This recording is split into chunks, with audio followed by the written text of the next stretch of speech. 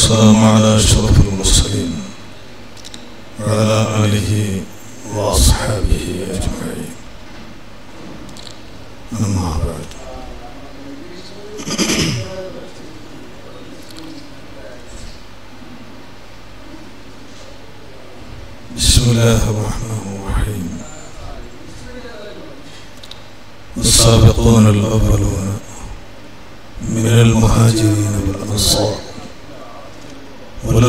والذين اتبعوهم بإحسان. رضي الله عنهم ورضوا عنه. صدق الله العظيم.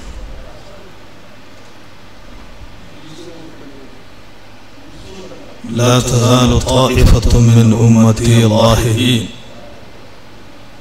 على الحق حتى يأتي أمر الله. صدق رسول الله صلى الله عليه وسلم.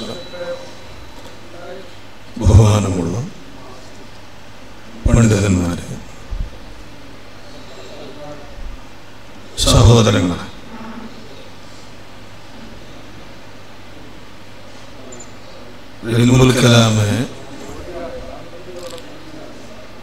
കുറിച്ച് നാം കുറഞ്ഞ സമയം ആണെങ്കിലും പ്രധാനപ്പെട്ട പല വിഷയങ്ങളും മനസ്സിലാക്കി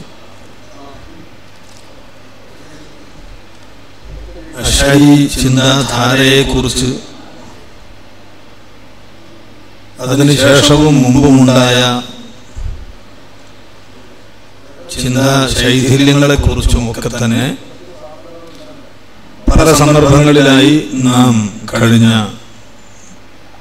ക്ലാസ്സിൽ മനസ്സിലാക്കി.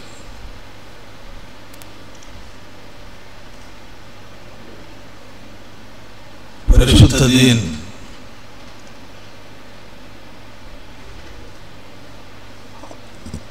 അള്ളാഹു സമ്പൂർണമാക്കിയ വിശ്വാസ ആചാര കർമ്മ സ്വഭാവ കാര്യങ്ങളെല്ലാം ഇൽമുൽ കലാം അതിന്റെ എല്ലാം അടിത്തറയാണ് എന്ന് നമുക്കറിയാം. അതുകൊണ്ട് തന്നെ വളരെ വിശദമായി പഠിക്കേണ്ടതും കാലങ്ങളെടുത്ത് മനസ്സിലാക്കേണ്ടതുമാണല്ലോ ആ കാര്യം. വളരെ ചെറിയ സൂചനകൾ മാത്രമേ ഈ കുറഞ്ഞ സമയങ്ങളിൽ നമുക്ക് സാധ്യമാവുകയുള്ളൂ.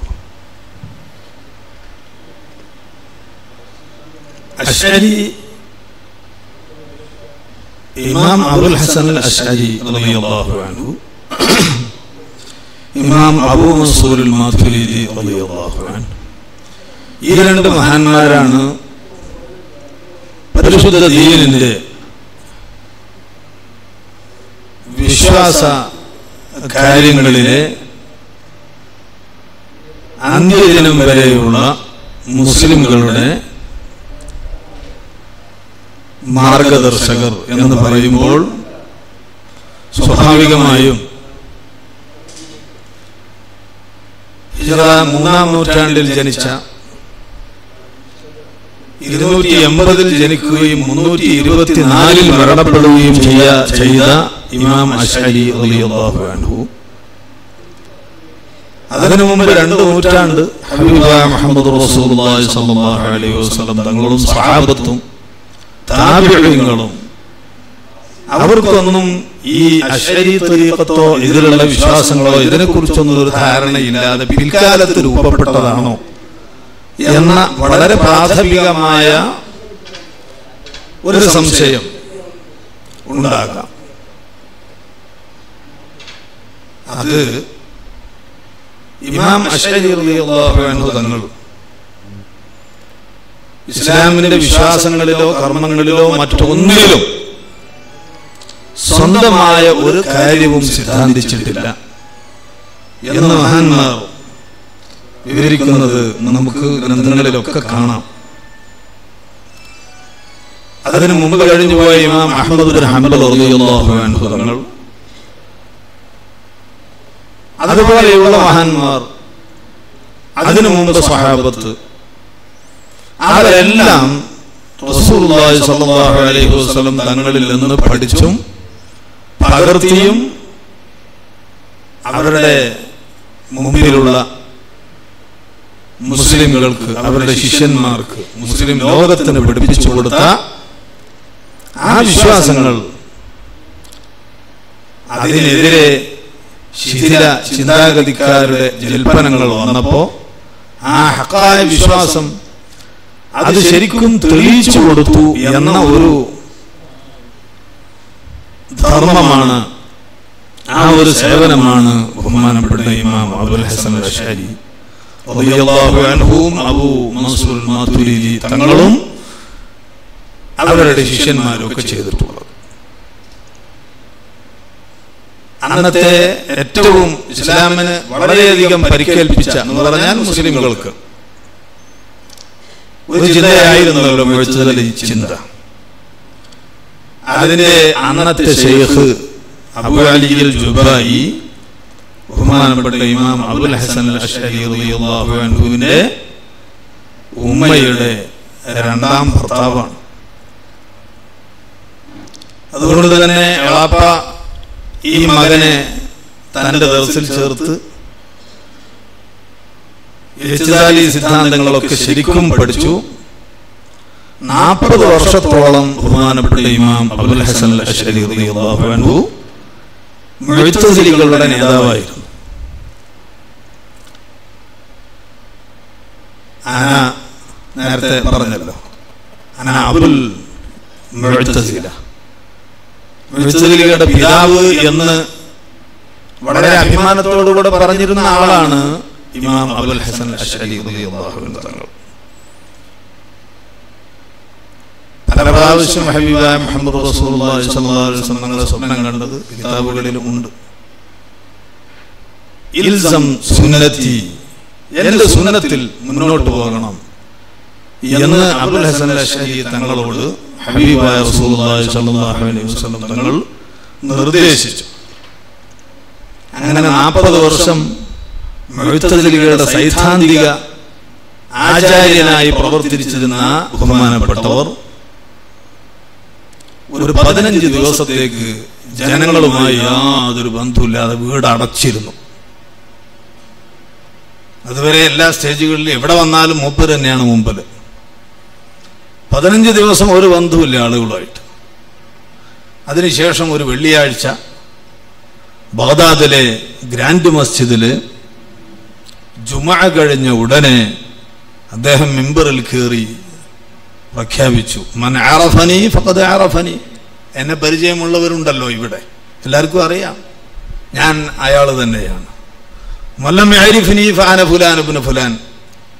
പരിചയമില്ലാത്തവർക്ക് വേണ്ടി ഞാൻ എന്നെ പരിചയപ്പെടുത്തുന്നു. ഞാൻ ഇന്ന ആളാണ്. ഞാൻ ഇതുവരെ ഏതൊരു സിദ്ധാന്തത്തിന് വേണ്ടി പ്രവർത്തിച്ചിരുന്നു അതെല്ലാം ഞാൻ കൈയൊഴിച്ചിരിക്കുന്നു. അത് പൂർണമായും തെറ്റാണ് എന്നെനിക്ക് ബോധ്യപ്പെട്ടിരിക്കുന്നു. അതുമായി എനിക്ക് യാതൊരു ബന്ധവും ഇനിയില്ല എന്ന് ഞാൻ പ്രഖ്യാപിക്കുന്നു. ഞാൻ സമ്പൂർണമായി തൗബ ചെയ്ത് മാറിയിരിക്കുന്നു. ഇനി എനിക്കുള്ളത് ഇതാ ഈ കിതാബിലുണ്ട് എന്ന് പറഞ്ഞ് അദ്ദേഹം എഴുതിയ ഗ്രന്ഥങ്ങൾ സുന്നത്ത് ജമാഅത്തിന്റെ അടിത്തറയായി അദ്ദേഹം എഴുതിയ ഗ്രന്ഥങ്ങൾ അവിടെയുള്ള ജനങ്ങൾക്ക് അദ്ദേഹം കൈമാറി. അതൊരു വലിയ ഒരു മഹാവിപ്ലവത്തിന്റെ തുടക്കമായി. അന്നത്തെ മഹാന്മാരായ പണ്ഡിതന്മാർ ആ ഗ്രന്ഥങ്ങൾ പരിശോധിച്ചു. അതിനു മുമ്പുള്ള ഇമാമിയങ്ങൾ ചെയ്ത അഖീദകൾ അഹ്മദ് ബിൻ ഹംബൽ തങ്ങളാണ് അതിന് മുമ്പതിയിലുണ്ടായിരുന്നത് അതേ വിശ്വാസവും ശരിയായ അഖീദയും പഠിപ്പിക്കുന്ന ആ ഗ്രന്ഥങ്ങൾ സർവരുടെയും അംഗീകാരം നേടി സർവ ആളുകളും അദ്ദേഹത്തെ പ്രശംസിച്ചു. എന്നാൽ അദ്ദേഹം ഇങ്ങ് കയറി വന്നതോടുകൂടെ സുന്നത്ത് ജമാഅത്തിന്റെ നേതൃത്വം അദ്ദേഹത്തിന്റെ കയ്യിൽ വന്നു. അതിന്റെ കാരണം ഇലാഹിയായ ഇനായത്താണ് അലൈഹി വസല്ലം തങ്ങൾ തന്നെ വന്നിട്ട് നീ ഇങ്ങോട്ട് നിൽക്കണം നീ ജമാഅത്തിന് വേണ്ടി പ്രവർത്തിക്കണം എന്ന് പറഞ്ഞാണല്ലോ ഇങ്ങോട്ട് കൊണ്ടുവരുന്നത്. എന്ന് മാത്രമല്ല അന്നത്തെ ഏറ്റവും വലിയ സൈദ്ധാന്തികമായി ബുദ്ധിപരമായി ഏറ്റവും വലിയ അപകടമായിരുന്ന എഴുത്തിസാലിന്റെ എല്ലാ ഉള്ളറകളും ശരിക്കും ബോധ്യമുള്ള അതിന്റെ ഇമാമാണ് ബഹുമാനപ്പെട്ട ഇമാം അഷാരി അതുകൊണ്ട് തന്നെ അദ്ദേഹം എഴുത്തിസാരി സിദ്ധാന്തങ്ങളെ ബിരുഹത്തിന്റെ സിദ്ധാന്തങ്ങളെ അദ്ദേഹം ഖണ്ഡിക്കുമ്പോൾ അന്നത്തെ സുന്നത്തിന്റെ ഉലമാക്കൾക്ക് ഒന്നും ഖണ്ഡിക്കാനും പറയാനും പ്രസ്താവിക്കാനും സമർത്ഥിക്കാനും കഴിയാത്ത വിധത്തിൽ അദ്ദേഹത്തിന് അത് പൂർണമായി തകർത്ത് തരിപ്പണമാക്കാൻ സാധിക്കുമായിരുന്നു. കാരണം അതിന്റെ സൈദ്ധാന്തികം അദ്ദേഹം തന്നെയായിരുന്നു. അദ്ദേഹത്തിന്റെ അളാപ്പ് അബു അലിയുൽ ജുബായി ആയിരുന്നു. അതിന്റെ എല്ലാം അദ്ദേഹത്തിന് അറിയാം. അതുകൊണ്ട് തന്നെ ജമാഅത്തിന്റെ ആ മുഅ്മിനീങ്ങളുടെ ആ നെടുനായകത്വം വളരെ പെട്ടെന്ന് അബുൽ ഹസൻ അഷരി തങ്ങളിൽ എത്തുകയും അതൊരു വലിയ ചാലഞ്ചായി ജനങ്ങളിൽ വരികയും അദ്ദേഹത്തിന്റെ പേരിൽ യഥാർത്ഥ ഇസ്ലാമിക വിശ്വാസികൾ അഷരിയത്ത് ഇമാം അബുൽ ഹസൻ അഷരി തങ്ങളുടെ ആൾക്കാർ എന്നറിയപ്പെടുകയും ചെയ്തതാണ്. അതിനു മുമ്പുള്ള അഹിമത്തിന്റെ ആ അഖീദയിൽ ഇല്ലാത്ത ഒന്നും അദ്ദേഹം കൂട്ടിയിട്ടില്ല അദ്ദേഹം ഒരു നിയമവും പുതുതായി പറഞ്ഞിട്ടുമില്ല ബഹുമാനപ്പെട്ട ഇമാം താജുദ്ദീൻ സുബിക്കി തങ്ങൾ അദ്ദേഹത്തിന്റെ തവഖാത്ത് ഷാഫിഇയ്യത്തുൽ ഖുറയിൽ പറയുന്നതായി കാണാം هؤلاء الحنفية والشافعية والمالكية فضلاء العنابلة ഈ നാല് മദ്ഹബിന്റെ ആളുകളും കുല്ലുഹും യദും വാഹിദുൻ അലാ റഅയി അഹ്ലി സുന്നത്തി വൽ ജമാഅ മുഴുവൻ ആളുകളും സുന്നികളാണ് ഹംബലി എന്ന പേരിലുള്ള ചില മുബ്തദീയങ്ങളുണ്ട് എന്ന് പറഞ്ഞത്. ഹംബലി എന്ന് പറയുന്ന കുറച്ച് ആളുകളുണ്ട്. ഇന്നും ഉണ്ടല്ലോ. സൗദിയിലൊക്കെ അങ്ങോട്ട് കയറിയാൽ അവിടുത്തെയൊക്കെ ഹംബലികളാന്ന് പറയും. അതുപോലെ മദഹബ് വൽ ജമാഅത്തി മദഹബും ഫീ ഇൽമി തൗഹീദ്. സമ്പൂർണമായി ഇൽമു സമ്പൂർണമായ വിവരണമാണ് ഈ ജമാഅത്തിന്റെ വിശ്വാസവും ഈ അശ്അരി മദ്ഹബും. ഇങ്ങനെ ഈ അഭിപ്രായ അനൈക്യവും ഈ ചേരിതിരിവും വന്നതിന്റെ പ്രധാനപ്പെട്ട കാരണം അശ്അരി മാധുരീതി മുഅ്തസിലി എന്നൊക്കെ വിവിധ ഗ്രൂപ്പുകളായി തിരിഞ്ഞത് പരിശുദ്ധ ഖുർആാനിൽ അള്ളാഹുവിനെ കുറിച്ച് വന്ന ചില പദങ്ങൾ ഇതിന് പ്രധാനപ്പെട്ട കാരണമായിട്ടുണ്ട്. നേരത്തെ പരാമർശിച്ചിട്ടുണ്ട് പലതും. എന്ന് എത് അള്ളാഹുവിന്റെ എത് എന്ന് പറഞ്ഞു കാണാം. ബൽ യദാഹു മബ്സൂത്തത്താനി യദാനി എന്ന് തഹ്നിയായി പറഞ്ഞിട്ടുണ്ട്. അതുപോലെ ഐന് ഐനാനി എന്ന് പറഞ്ഞിട്ടില്ല. അയിനി എന്നേ വന്നിട്ടുള്ളൂ. കുല്ലു ഷൈൻ ഹാലിക്കു ഇല്ലാ വജ്ഹഹു വജഹു. എന്ന് ഉണ്ട്. ഇങ്ങനെയുള്ള പദങ്ങൾ. ഈ പദങ്ങളെ അതിന്റെ ലോവിയായ ഹക്കീക്കിയായ മാന തന്നെയാണ് ഉദ്ദേശം എന്ന് ജൽപ്പിക്കാൻ മെഴുത്തതിരികൾ മുമ്പോട്ട് വന്നു. കൈ എന്നർത്ഥം പറഞ്ഞു. വജുഹിന് മുഖം എന്നർത്ഥം പറഞ്ഞു. അയിനിൽ കണ്ണ് എന്നർത്ഥം പറഞ്ഞു. റഹ്മാൻ അർഷിസ്തവ. അർഷിൽ ഇരുന്നു എന്ന് പറഞ്ഞു. ഇങ്ങനെ അള്ളാഹുവിന് അവയവങ്ങൾ ആരോപിക്കുന്ന ഒരു നിലപാട് വന്നപ്പോ അന്നത്തെ പണ്ഡിതന്മാർ അതിനെ എതിർത്തു.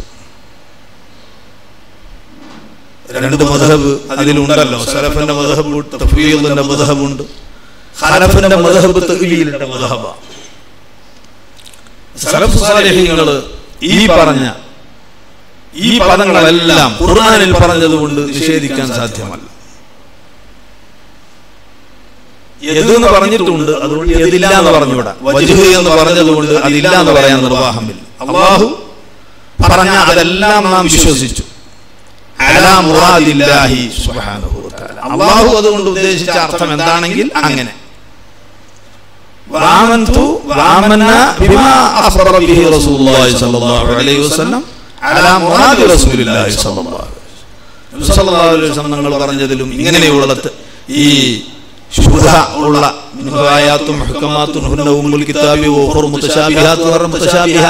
ഹദീസുണ്ട് അതിന്റെ ഉദ്ദേശം നമുക്കറിയില്ല. കൈ എന്നർത്ഥം പറഞ്ഞാൽ നിർവാഹമില്ല. കൈ നമുക്കറിയാവുന്നതാണ്. നമ്മുടേതുപോലെ അല്ലാത്തൊരു കൈ എന്ന് പറയുന്നത് നിരർത്ഥകമായ ഒരു ജൽപ്പനമാണ്. അതിനെങ്ങനെ കൈ എന്ന് പേരുണ്ടായത്? നമ്മുടേതുപോലെയല്ല പിന്നെ കുരങ്ങന്റേതുപോലെ. അതുമല്ല. നായയുടേതുപോലെ. അതുമല്ല. പിന്നെ ഏതുപോലെ? അതറിയില്ല. പിന്നെ ആരെ അതിന് കൈ എന്നർത്ഥം പറഞ്ഞത്? ഏതിനെ അള്ളാഹു പറഞ്ഞിട്ടുള്ളൂ? കൈ എന്ന് അള്ളാഹു പറഞ്ഞിട്ടില്ല. അതുകൊണ്ട് ഏതുകൊണ്ട് നാം അത് ഇസ്ബാത്ത് ചെയ്യുന്നു? അതിന്റെ മുറാദ് എന്താണ്? അള്ളാഹു എന്താണ് മുറാദ്? എങ്കിൽ അത് ഞങ്ങൾ വിശ്വസിച്ചു. നമുക്കത് അറിയില്ല. അത് ബുദ്ധിമാന്മാരായ ആളുകളുടെ കാമിലീങ്ങളായ അക്കൽ കാമിലീങ്ങളായ ആളുകളുടെ നിലപാടാണ് യഥാർത്ഥത്തിൽ വഹാബിയത്തും കാര്യങ്ങളൊക്കെ ബുദ്ധിയെ തള്ളിപ്പറഞ്ഞതാണ് ഏറ്റവും വലിയ അപകടമായി വന്നത്. അവരുടെ വളരെ ചെറിയ അക്കൽ കൊണ്ട് അവർ മനസ്സിലാക്കുകയാണ് അവർ ആലോചിക്കുകയാണ് അള്ളാഹ്ക്ക് കൈയുണ്ട് മുഖമുണ്ട് ഇതൊക്കെ ഉണ്ട്. അതെന്ത് എന്ന് ചോദിക്കുമ്പോൾ അത് നമ്മുടെ കൈ പോലെയല്ല. പിന്നെ എന്തേ അതിന് കൈ എന്ന് പേര് വന്നത്? അതിന് കൈ എന്ന് ഇങ്ങനെ ആര് പറഞ്ഞു അള്ളാഹു പറഞ്ഞിട്ടില്ലല്ലോ. അപ്പോ ആ അള്ളാഹു പറഞ്ഞത് അംഗീകരിച്ചു.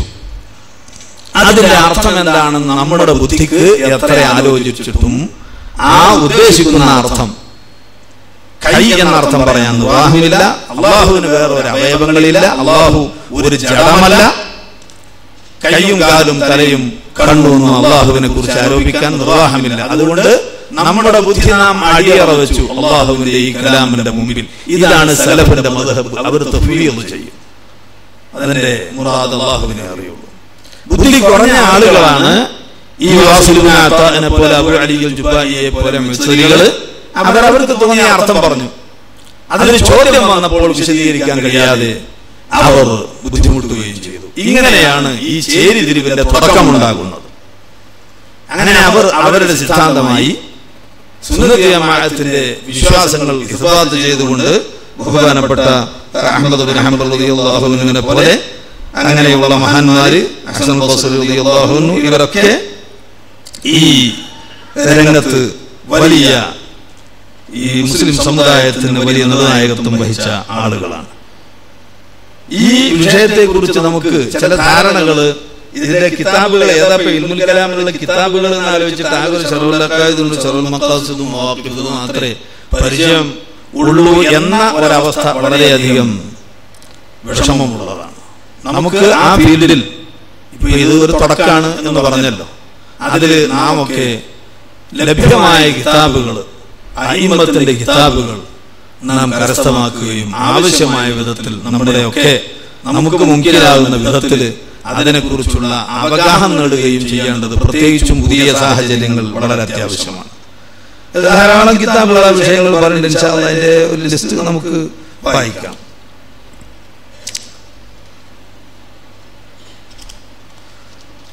അപ്പൊ സലഫു സാലേഹ്യങ്ങളായ യഥാർത്ഥ സലഫികൾ അതായത് മഹാന്മാർ ആ സലഫിന്റെ മധഹബിൽ അത് അപകടമില്ലാത്ത മധഹബാണ് നമുക്കതിനെ കുറിച്ച് അറിയില്ല. അള്ളാഹുവിനെ അതിന്റെ ഉദ്ദേശം അറിയുകയുള്ളൂ എന്ന് പറഞ്ഞ പിന്നെ എവിടെയും പെട്ടുപോകാനില്ല. നമ്മുടെ അറിവ് നമ്മുടെ കഴിവുകേട് നാം അതിന്റെ മുമ്പിൽ സമർപ്പിച്ചു. നമുക്ക് അത്രേ അറിയുള്ളൂ.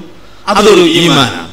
പക്ഷെ പിൽക്കാലത്ത് ഈ പദങ്ങൾ എടുത്ത് ഉദ്ധരിച്ചുകൊണ്ട് ജനങ്ങളുടെ ഇടയിൽ വിദേഹത്തിന്റെ ശബ്ദങ്ങൾ വന്നപ്പോ അതിന് മറുപടി പറയാതിരിക്കാൻ നിർവാഹമില്ല. അതിന് മറുപടി പറയാൻ അള്ളാഹു പ്രചോദിപ്പിച്ചിട്ടുണ്ട്.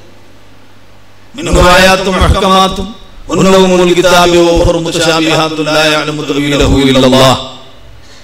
വറാസിഖുന ഫിൽ മുമ്പാണ് വഖഫ് ശേഷമാണ് രണ്ട് ഖിറാഅത്തും ഉണ്ട്. അള്ളാഹുവിനെ അതിനെ തഅവീൽ അറിയുകയുള്ളൂ. വറാസിഖുന ഫിൽ ഇൽമി അഗ്രേസരായ പണ്ഡിതന്മാർക്കും അറിയാം അതിന്റെ തഅവീൽ ആ തഅവീൽ അള്ളാഹു അംഗീകരിച്ചു. ഈ തെളിവിയിൽ നബി സല്ലല്ലാഹു അലൈഹി വസല്ലം തങ്ങളും അംഗീകരിച്ചു. ബഹുമാനപ്പെട്ട ഇബ്നു അബ്ബാസ് റളിയല്ലാഹു അൻഹുമായുടെ തലയിൽ കൈവച്ചുകൊണ്ട് അല്ലാഹുമ്മ ഫഖിഹു ഫി ദീനി വഅല്ലിംഹു തഹ്വീൽ നല്ല പണ്ഡിതനാക്കണം. തഹ്വീൽ ഈ ഇബ്നു അബ്ബാസ് നീ പഠിപ്പിച്ചു കൊടുക്കണം. സഹിഹായ ഹദീസാണ്. തഹ്വീൽ അംഗീകരിച്ചു. ആ തഹ്വീൽ ആവശ്യമായി വന്നപ്പോൾ മഹാന്മാരായ പണ്ഡിതന്മാർ അതിന് ഒരു തകരാറുമില്ലാത്ത വിധത്തിൽ നമ്മുടെ അഖീദയോട് അള്ളാഹുവിന്റെ നസാഹത്തിനോട് എതിരല്ലാത്ത വിധത്തിൽ അതിനെ തെളിവീൽ ചെയ്തു. നമുക്ക് കിതാബുകളിൽ ആയത്തുകളൊക്കെ ഓതുമ്പോൾ അതിന്റെ തെളിവിൽ എന്ത് എന്ന് പറഞ്ഞാൽ മലയാളത്തിലും ഇംഗ്ലീഷിലും അറബിയിലൊക്കെ ഹാൻഡ് എന്ന് പറയുമ്പോൾ സ്വാധീനം എന്ന അർത്ഥത്തിന് പറയാറുണ്ട്. അയാൾക്ക് വലിയ ഹാൻഡാണ് പോലീസ് സ്റ്റേഷനിലൊക്കെ എന്നൊക്കെ പറയും. അപ്പൊ സ്വാധീനം എന്ന അർത്ഥത്തിൽ ഏത് എന്ന് മലയാളത്തിലും പറയാറുണ്ട് ഇംഗ്ലീഷിലും പറയാറുണ്ട് അറബിയിലും പറയാറുണ്ട്. അങ്ങനെ അതിന് അർത്ഥം പറഞ്ഞു വേറെയും ധാരാളം അർത്ഥങ്ങൾ പറഞ്ഞു. അതൊക്കെ നമുക്ക് കുറെയൊക്കെ നാം പഠിച്ചിട്ടുള്ളതാണ്. ഈ തെളിവീലിന്റെ മാർഗമാണ് പിൽക്കാലത്ത് ആവശ്യമായി വന്നത്. ബഹുമാനപ്പെട്ട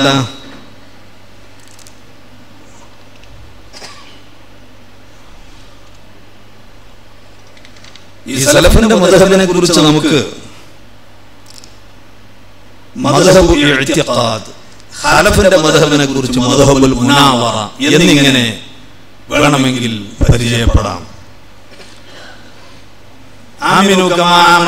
നേരത്തെ നമ്മൾ കേട്ടല്ലോ. ആ ഈമാൻ കാര്യങ്ങൾ ആ വന്ന പടി അങ്ങ് വിശ്വസിക്കുക. അതിൽ എഴുത്തിക്കാതിന്റെ മദ്ഹബ. അതിൽ പിന്നെ അങ്ങോട്ടും ഇങ്ങോട്ടും സംവാദങ്ങളിൽ അതിന്റെ ആവശ്യമില്ല. അള്ളാഹു പറഞ്ഞത് എങ്ങനെയാണ് ആമന ബിഹി അലാ മുറാദില്ലാഹി സുബ്ഹാനഹു വതആല തആല. അള്ളാഹു അതിനെ അർത്ഥമാക്കിയത് എന്താണെങ്കിൽ അത് നാം വിശ്വസിച്ചു. നമുക്കതറിയില്ല. മറ്റേത് മധബുൽ മുനാവറയാണ്.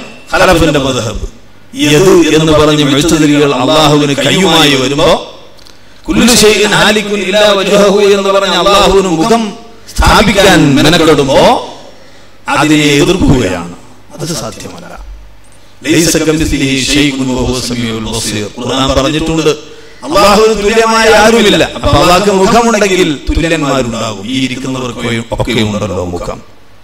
കൈയും കാലും ഒക്കെ തുല്യതയും തജ്സീം. ഈ തജ്സീമും തശ്ബീഹും ഇവരുടെ വാദങ്ങളിൽ വന്നപ്പോ അതിനെ എതിർത്തുകൊണ്ട് അവരോട് മുനാവറ ചെയ്ത് സംവാദം നടത്തി അവരെ പരാജയപ്പെടുത്തുന്ന മാർഗമാണ് ഈ ഹലഫിന്റെ മാർഗം. അതാണ് ഇന്ന് അഭികാമ്യം. കാരണം ഈ വിശുദ്ധ ഖുർആനാണ് ഈ വിശുദ്ധ ഖുർആാനെ ദുർവ്യാഖ്യാനം ചെയ്താണ് ഇവിടെയുള്ള വലാലത്തും ഇവിടെയുള്ള തീവ്രവാദവും ഭീകരവാദവും ഇസ്ലാമിനെ ഈ കാലം കേൾക്കേണ്ട പഴി അതിലെ മിക്കവയും വിശുദ്ധ ഖുർആാനിനെയും ഹദീസിനെയും ദുർവ്യാഖ്യാനവും വേണ്ട വിധത്തിൽ മനസ്സിലാക്കാതെ ഉള്ള എളിയ ആളുകളുടെ തർജമയും പരിഭാഷകളുമാണ് ഇപ്പൊ അടുത്ത് നമ്മളൊരു വാട്സപ്പിന്റെ ഒരു ക്ലിപ്പ് നമ്മൾ കേട്ടല്ലോ. മറ്റുള്ളവരെ കുറിച്ച് ഇസ്ലാമിന് തെറ്റിദ്ധാരണയുണ്ടാക്കുന്ന വിധത്തിലാണ് ഈ വിദഗ്ധത്തിന്റെ കക്ഷികൾ മുഴുവൻ പ്രവർത്തിച്ചത്. അപ്പൊ അതിന് നാം അതിന്റെ ശരിയായ രൂപങ്ങൾ മനസ്സിലാക്കുകയും അതിന് മറുപടി പറയുകയും ചെയ്യുക എന്നത് നമുക്ക് നിർബന്ധമായ കാര്യമാണ്. ദീനുൽ ഇസ്ലാമിന്റെ സംരക്ഷണത്തിന് വേണ്ടി നമുക്ക് ചെയ്യാവുന്ന നാം ചെയ്യേണ്ട കാര്യം. അപ്പൊ ഇതിൽ അള്ളാഹുവിനോട് യോജിക്കുന്ന അള്ളാഹുവിന്റെ പരിശുദ്ധിയോട് യോജിക്കുന്ന വിധത്തിൽ അതിനെ തെളിവീൽ ചെയ്തു. അതിനെ നമ്മൾ തെളിവിൽ നടക്കേണ്ട ആവശ്യമൊന്നുമില്ല. നമ്മുടെ മുൻഗാമികളായ ഹലഫ് പണ്ഡിതന്മാർ അതിന് ഏറ്റവും വ്യക്തമായ വിധത്തിൽ തെളിവീലുകൾ നമുക്ക് തന്നിട്ടുള്ളതാണ്.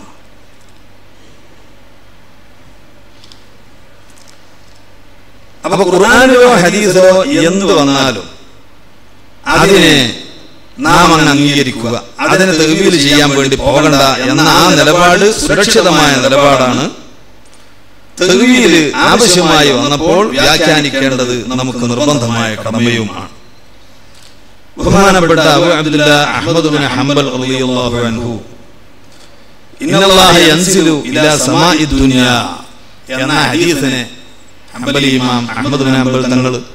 ഹദീസ് പറഞ്ഞുകൊണ്ട് അതുപോലെ എന്ന ഹദീസൊക്കെ പറഞ്ഞിട്ട് അഹ്മദ് ബിൻ ഹംബൽ തങ്ങൾ അതിനെ അർത്ഥം പറഞ്ഞത് ആ പറഞ്ഞത് ഞാൻ വിശ്വസിച്ചു. അല്ലാഹു യൻസിലു നസല എന്ന് പറഞ്ഞ ഇറങ്ങി എന്നാണല്ലോ അർത്ഥം. അള്ളാഹു ഇറങ്ങി വരും എന്ന് നമുക്ക് വിശ്വസിക്കാൻ നിർവാഹമില്ല. അത് ജിസ്മിന്റെ അതുപോലെയുള്ള വസ്തുക്കളുടെ സ്വഭാവമായ ഇറങ്ങുക കയറുക പോവുക വരിക എന്നൊക്കെ പറഞ്ഞാൽ അപ്പൊ ഈ ഹദീസ് ഇതുപോലുള്ള ആയത്തുകൾ അതെങ്ങനെ എന്ന് നമുക്ക് പറയാൻ കഴിയില്ല. അതിന് നാം അർത്ഥം പറയുകയും ഇല്ല. അള്ളാഹു അത് പറഞ്ഞു. നാം അത് വിശ്വസിച്ചു. ഇതാണ് ഈ ധാരാളം മഹാന്മാർ ഈ വിഷയം ഈ നിലയ്ക്ക് തന്നെയാണ് പറഞ്ഞത്. ബഹുമാനപ്പെട്ട ഇമാം ഷാഫിഈ റളിയല്ലാഹു അൻഹു തങ്ങളും ഇതേ നിലപാട് തന്നെയാണ്. ആമന്തു ബില്ലാഹി വബിമാ ജാഅ അനില്ലാഹി അലാ മുറാദില്ലാഹി. അള്ളാഹുവിൽ ഞാൻ വിശ്വസിച്ചു. അള്ളാഹു പറഞ്ഞതും വിശ്വസിച്ചു. അലാമുറാദില്ല അതിന്റെ ഉദ്ദേശം അള്ളാഹു എന്താണ് ഉദ്ദേശിച്ചതെങ്കിൽ അങ്ങനെ വിശ്വസിച്ചു.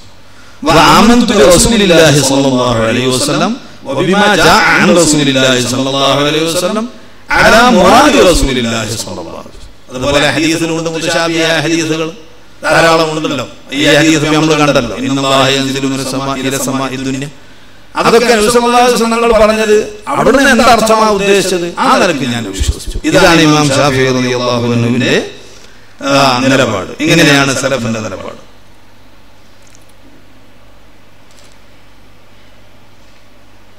അപ്പോ തങ്ങളുടെയും സഹാബത്തിന്റെയും വിശ്വാസം അത് അശായിറത്തിന്റെ വിശ്വാസമാണ് എന്ന് പറഞ്ഞാൽ അതിന്റെ താല്പര്യം നമുക്ക് മനസ്സിലായി. അതായത് അശാഹിറത്ത് റസൂലുള്ളാഹി സ്വല്ലല്ലാഹു അലൈഹി വസല്ലം സഹാബത്തിന്റെ താബീങ്ങളുടെയും ആ അഖീദയാണ് അശായിറത്തിന്റേത് ഇതാണ് അവരുടേത് എന്ന് പറഞ്ഞാൽ റസൂലുള്ളാഹി സ്വല്ലല്ലാഹു അലൈഹി വസല്ലം ബുഖാരിയിൽ പറഞ്ഞു എന്ന് പറഞ്ഞാൽ മതി. ബുഖാരി നബി അലൈഹി വസല്ലം ബുഖാരിയിൽ പറഞ്ഞു എന്ന ആ പ്രയോഗം പോലെയുള്ള പ്രയോഗമാണ് അശ്വരി അഖീദയാണ് നിങ്ങളുടെയും സഹാബത്തിന്റെയും അഖീദ എന്ന് പറഞ്ഞാൽ. അതായത് ആ അഖീദയാണ് അശായിറത്ത് കൈക്കൊണ്ടിട്ടുള്ളത്. ഒരു മാറ്റവും അതിന് വരുത്തിയിട്ടില്ല. ഈ മാറ്റം വരുത്തിയ മുഴച്ചതലത്തിൽ നിന്ന് അവർ മാറി. എന്നിട്ട് ശരിയായ വിശ്വാസം അവർ രേഖപ്പെടുത്തി. ഈ അശ്വരി മാതുരീതി എന്ന രണ്ട് ധാരകൾ യഥാർത്ഥത്തിൽ ഇതിന്റെ ഇടയിൽ കാര്യമായ വ്യത്യാസങ്ങളൊന്നുമില്ല. ചില പദങ്ങളിൽ ഉള്ള വ്യത്യാസമുണ്ട്. ചില സംഗതികൾ മാനവീയ ഖിലാഫുണ്ട്. ആ ഖിലാഫ് ഒരു കൂട്ടരെ മറ്റൊരു കൂട്ടരെ വിരത്ത് കുഫർ കൊണ്ട് വിധിക്കാനോ പറ്റുന്ന ഒരു വ്യത്യാസവും ഇല്ല രണ്ടു കൂട്ടരും തമ്മിൽ. തമ്മിലുള്ള ഫർക്കുകൾ എന്താണ് എന്ന് അതിനൊരു കിതാബ് ഉണ്ട്. ആ കിതാബ് സംഘടിപ്പിച്ചാൽ കുറെ ഫർക്കായില്ല ബഹിയ ഫീമാ ബൈനൽ അശാഇറത്തി വൽ മാതുരീദിയ എന്നാണ് അതിന്റെ പേര്. നെറ്റിലൊക്കെ സെർച്ച് ചെയ്താൽ കിട്ടും പ്രിന്റ് ഇടാൻ മതി. റൗലത്തുൽ ബഹിയ ഫീമാ ബൈനൽ അശാഇറത്തി മാതുരീദിയ. ഇത് രണ്ടും ഒന്ന് തന്നെയാണ് ഈ രണ്ട് ധാരകളും. അടിസ്ഥാനപരമായി വ്യത്യാസമൊന്നുമില്ല. ചെറിയ ചെറിയ വ്യത്യാസങ്ങൾ ഉണ്ട് ആ വ്യത്യാസങ്ങൾ ചിലത് പദസമ്പതിയാണ് ചിലത് ആശയപരമായി തന്നെയാണെങ്കിലും അത് ഒരു കൂട്ടർ വിദഗ്ധരായോ കാഫറായി പോകുന്നതോ ആയ ഒരു വ്യത്യാസം മറ്റുള്ളവർ അശ്വരി മാതുരീതി എന്ന വിഭാഗവും വിത്തുലികളും മറ്റ് അവാന്തര വിഭാഗങ്ങളും തമ്മിലുള്ള വ്യത്യാസങ്ങൾ ആശയപരമായി തന്നെയാണ്. ഒരുപക്ഷെ വിദഗ്ധത്തായി പോകുന്ന മറ്റ് അല്ലെങ്കിൽ കാഫറായി പോകുന്ന വ്യത്യാസങ്ങളാണ് ആശയപരമായ വ്യത്യാസങ്ങളാണ് മറ്റു കക്ഷികൾ തമ്മിലുള്ളത്. ഒന്ന് രണ്ട് ഉദാഹരണങ്ങൾ ഈ പറയാം നമുക്ക്. അശായിറത്തു മാത്രം ഒന്നും പറഞ്ഞാലൊന്നും തീരുവില്ല കുറെ ഉള്ളതാണ്. ഒരു ഉദാഹരണത്തിന് ഈമാൻ. ഈമാനിനെ കുറിച്ച് മാതൃരീതിയത്തിന്റെ വിശ്വാസം ഈമാൻ അള്ളാഹുവിനെ അറിയൽ ഒരു മനുഷ്യന് നിർബന്ധമാണ്. റസൂൽ വന്നിട്ടില്ലെങ്കിൽ പോലും. ഒരു നബി വന്നിട്ടില്ലെങ്കിൽ പോലും അള്ളാഹുവിനെ അറിയലും വിശ്വസിക്കലും മനുഷ്യർക്ക് നിർബന്ധമാണ് എന്ന് മാതുരീതിയത്ത് അബു മൻസൂർ മാതുരീതി തങ്ങളുടെ അത്തുപാഴ് അങ്ങനെ ഒരു കാഴ്ചപ്പാടുണ്ട്. അക്കൽ കൊണ്ട് തന്നെ അള്ളാഹുവിനെ അറിയൽ ഒരു മുക്കല്ലഫിന് നിർബന്ധമാണ്. ഇമാം അശ്വരി തങ്ങൾ ഷറ വരുമ്പോഴേ അത് നിർബന്ധമാവുള്ളൂ. ഷറ ഇല്ലെങ്കിൽ ഷറന്റെ മുമ്പ് അള്ളാഹുവിനെ കുറിച്ച് അറിയൽ നിർബന്ധമാവില്ല. എന്ന് ഖുർആനിൽ പറഞ്ഞിട്ടുണ്ട്. ഒരു റസൂൽ അയക്കുന്നതിന് മുമ്പ് അവിടെ തക്ലീഫില്ല. അദാബില്ല. അതാബില്ലെങ്കിൽ പിന്നെ സവാബ് ഉണ്ടാവില്ല. അപ്പോ സവാബ് ഒന്നും ബിഅസത്തിന്റെ മുമ്പ് റസൂൽ വരുന്നതിന് മുമ്പ് ഇല്ല. എങ്കിൽ ആ സമയത്ത് തക്ലീഫില്ല. തക്ലീഫിലെ അടിത്തറയാണല്ലോ അള്ളാഹുവിനെ കുറിച്ചുള്ള അറിയൽ. അവ്വലു വാജിബിൻ അലൽ ഇൻസാനി ഉണ്ടെങ്കിൽ ആദ്യമായി അള്ളാഹുവിനെ കുറിച്ച് അറിയാന്നുള്ളതാണ് ഒന്നാമത്തെ വാജിബ് വരേണ്ടത്. അത് ശറഅ് വന്നെങ്കിലേ ഉള്ളൂ എന്നാണ്. ഇവിടെ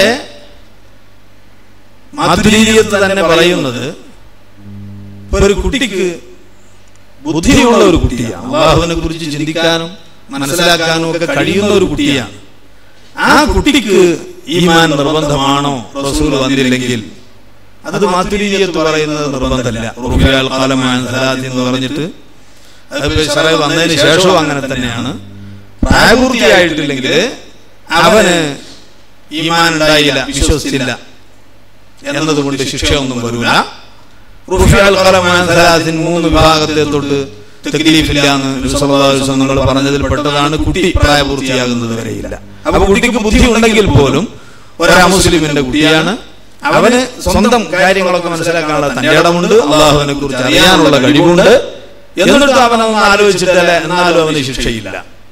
എന്നാൽ പ്രായപൂർത്തിയും ബുദ്ധിയൊക്കെ ഉള്ള ഒരു മനുഷ്യൻ അവന് സ്വന്തം അള്ളാഹുവിനെ അറിഞ്ഞില്ലെങ്കിൽ അത് ബുദ്ധിമുട്ടായി പോകും എന്ന നിലപാട് മാതുരീയത്തുണ്ട് അശ്ലീ മാവതങ്ങൾ അത് നിർബന്ധമില്ല. ശരായി വന്നതിന് ശേഷമേ അത് നിർബന്ധമാവുള്ളൂ എന്ന നിലപാടില്ല. അതുപോലെ വേറൊരു വ്യത്യാസമുള്ള മസലയാണ് അള്ളാഹുവിന്റെ കലാം. അള്ളാഹുവിന്റെ കലാമിനെ കുറിച്ച് അള്ളാഹുവിന്റെ കലാം കേൾക്കാമോ കേൾക്കാൻ സാധ്യമല്ലേ? ഇമാം അബുൽ ഹസൻ റളിയല്ലാഹു അൻഹു പറയുന്നു അത് കേൾക്കാവുന്നതാണ്. മാതുരി ഇമാമ് കേൾക്കാൻ സാധ്യമല്ല എന്നും സാധ്യമാണ് എന്നും രണ്ട് ഘട്ടങ്ങളിലായി രണ്ട് നിലപാടെടുത്തിട്ടുണ്ട്. കേൾക്കാൻ സാധ്യമല്ല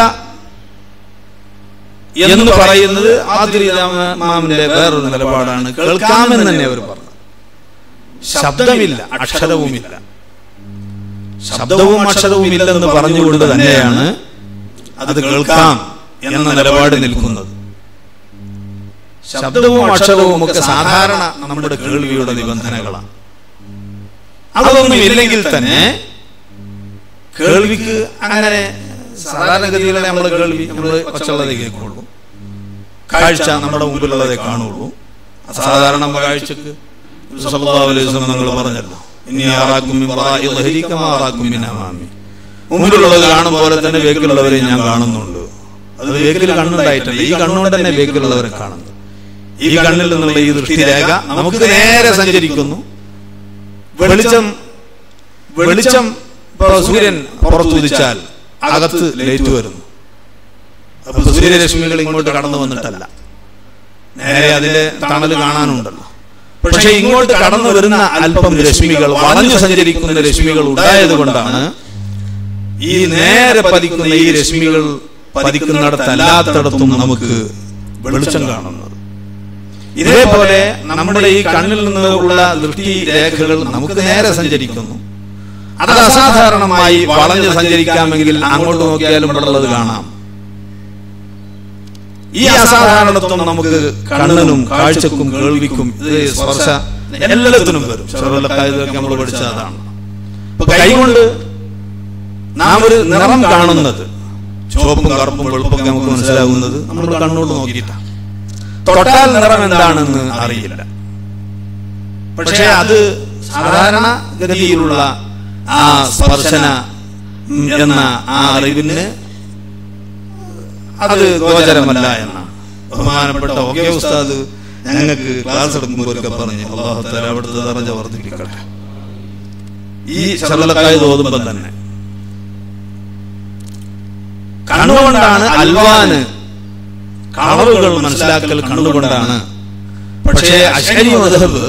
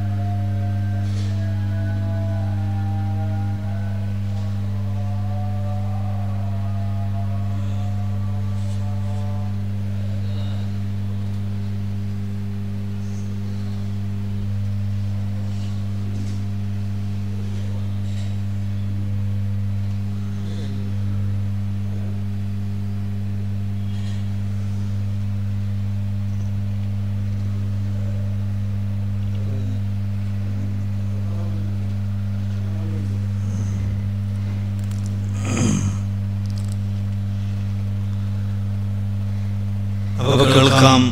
അള്ളാഹുവിന്റെ കലാം കേൾക്കാം എന്നാണ് അപ്പൊ ഞാൻ നേരത്തെ പറഞ്ഞ് ആ. ഉസ്താദ് പറഞ്ഞ് മലപ്പുറത്തൊരു തങ്ങളുണ്ടായിരുന്നു ഉസ്താദിന്റെ ചെറുപ്പകാലത്ത്. മലപ്പുറത്തൊരു തങ്ങളുണ്ടായിരുന്നു. അവിടെ നേർച്ച നടക്കാറുണ്ട്. മലപ്പുറം ശ്രോതാക്കളെ നേർച്ച. അപ്പൊ അവിടെ ഒരു കുട ഒക്കെ സത്യക്കുട എന്ന് എന്തൊക്കെ പേരുണ്ട്. പണ്ടൊക്കെ അങ്ങനെയൊക്കെ ഏർപ്പാടുണ്ട് തോന്നുന്നു. ഒരു കുട ഉണ്ട്. അങ്ങനെ പള്ളിയിൽ തങ്ങൾ അന്ധനാണ്. കണ്ണു കാണൂല. അതാ പള്ളിയിൽ ആ ചാരുപടിയിൽ ഇങ്ങനെ വെച്ചപ്പോ. ഈ തങ്ങൾ രണ്ട് കണ്ണും കാഴ്ചയില്ല. കൈകൊണ്ട് ഇങ്ങനെ തൊട്ടിട്ട് പറഞ്ഞു ആ ഇത് ചോപ്പാണല്ലോ. ഇത് ചോന്നിട്ടാണല്ലോ എന്ന് പറഞ്ഞു. തൊട്ടാൽ ചുവപ്പും കറുപ്പൊന്നും മനസ്സിലാവൂല. കളറൊന്നും അറിയില്ല. പക്ഷേ മൂപ്പര് തൊട്ടിട്ട് ഇത് ചുവപ്പാണ് എന്ന് പറഞ്ഞു. അത് ചുവപ്പായിരുന്നു അത് മുമ്പ് അറിഞ്ഞത് പറയുന്നല്ല മൂപ്പര് തൊട്ടിട്ട് പറയാം. അപ്പൊ തൊട്ടറിവ് തൊട്ടാൽ നമുക്ക് ചൂടും തണുപ്പും അറിയും. മിനുസമുള്ളതാണോ പരുക്കനാണോ എന്നറിയും. ഇങ്ങനെയുള്ള അറിവുകളൊക്കെ ആ കിട്ടുക. നിറമോ മണമോ ഒന്നും തൊട്ടാൽ അറിയില്ല. പക്ഷേ അള്ളാഹുദാല ഈ കൈക്ക് സ്പർശന ശേഷി നിറമറിയാനും അതിന്റെ രുചി അറിയാനും അതിന്റെ വാസന എന്താണെന്ന് അറിയാനും തൊട്ടാൽ തന്നെ സാധിക്കുന്ന ആളുകളുണ്ടല്ലോ. നാം ശബ്ദിച്ചാൽ ഒരു പാമ്പ് ഉണ്ടവിടെ. നാം ഇവിടെ ചവിട്ടിയാൽ ഒച്ചുണ്ടാക്കിയാൽ അത് ഓടും. പക്ഷെ പാമ്പിന് കേൾവി ശക്തിയില്ല. അതിന് ചെവി ഉണ്ടാവും പാമ്പിന് കേൾവി ശക്തിയില്ല. പക്ഷെ നിന്റെ ശബ്ദം കേട്ട് അത് ഓടുന്നു. അത് അനുഭവിക്കുന്നുണ്ട്. കേൾക്കുന്നില്ലെങ്കിലും. നിന്റെ ശബ്ദം നാം സംസാരിക്കുമ്പോൾ നമ്മുടെ ശരീരത്തിലുള്ള ഒരു കമ്പനമുണ്ടല്ലോ. വർത്താനം പറയുമ്പോൾ തൊട്ടുക്കിയാൽ എവിടെ തൊട്ടുനോക്കിയാലും ഉണ്ടാവും. അത് ഈ വസ്തുവിന് ഈ പാമ്പിന് മനസ്സിലാക്കാൻ കഴിയും. അപ്പൊ നമ്മുടെ നമ്മളെ ഒച്ചട്ടാൽ നമ്മളെ ഒച്ച കേട്ട് ഓടുക എന്നാ നമുക്ക് തോന്നാം അത് വഴി ഭൂമിയിൽ ഉണ്ടാകുന്ന ഈ കമ്പനം പാമ്പ് അനുഭവിക്കുന്നു. ഇത് വലിയ അവിടെ നിന്നാൽ എന്നത് മനസ്സിലാക്കി ഓടിപ്പോകുന്നു. അപ്പൊ ശബ്ദം നമുക്ക് ചെവി കൊണ്ട് കേൾക്കുന്നത് വേണമെങ്കിൽ കണ്ണുകൊണ്ട് കേൾക്കാം. കണ്ണുകൊണ്ട് കാണേണ്ടത് ചിലപ്പോൾ ചെവി കൊണ്ട് കാണാം. ഇതൊക്കെ അള്ളാഹു സുബാനുഭവത്തല്ല നമുക്ക് ഓരോരുത്തർക്കും ഒരു പ്രത്യേക കഴിവ് ചില പ്രത്യേക വൈഫകൾക്ക് വേണ്ടി നിശ്ചയിച്ചത് അതങ്ങനെ നടക്കുന്നു എന്നേ ഉള്ളൂ. അത് അസാധാരണമായ കഴിവ് അതിന് വരുമ്പോൾ കാണാം കേൾക്കാം. ശബ്ദമാകേണ്ടതില്ല. ഖുർആൻ പറഞ്ഞു മരിച്ചുപോയാൽ കണ്ണിന്റെ മൂടിയൊക്കെ അങ്ങ് നീങ്ങി. ഇപ്പോൾ കാഴ്ച വളരെ ശക്തമാണ്. അപ്പോഴാണ് നമ്മൾ അള്ളാഹുവിനെ കാണുന്നത്. മൂമിനിങ്ങൾ അള്ളാഹുവിനെ കാണും. ആഹ്റത്തിൽ നമുക്കത് കാണാനുള്ള കണ്ണ് ഇപ്പോ ഈ കണ്ണിന് ശേഷിയില്ല. നമ്മുടെ തടിക്കും ശേഷിയില്ല. എന്ന് മൂസ അലൈഹി സ്വലാത്തു വസ്സലാമിന്റെ സംഭവത്തിൽ ഖുർആൻ പറഞ്ഞല്ലോ. നിന്നെ ഒന്ന് കാണണം. അത് അവസരം ഒരുക്കി തരണം. അള്ളാഹു പറഞ്ഞു "ഖാല തറാനി." ഇപ്പൊ നിങ്ങൾക്ക് കാണാൻ സാധ്യമല്ല.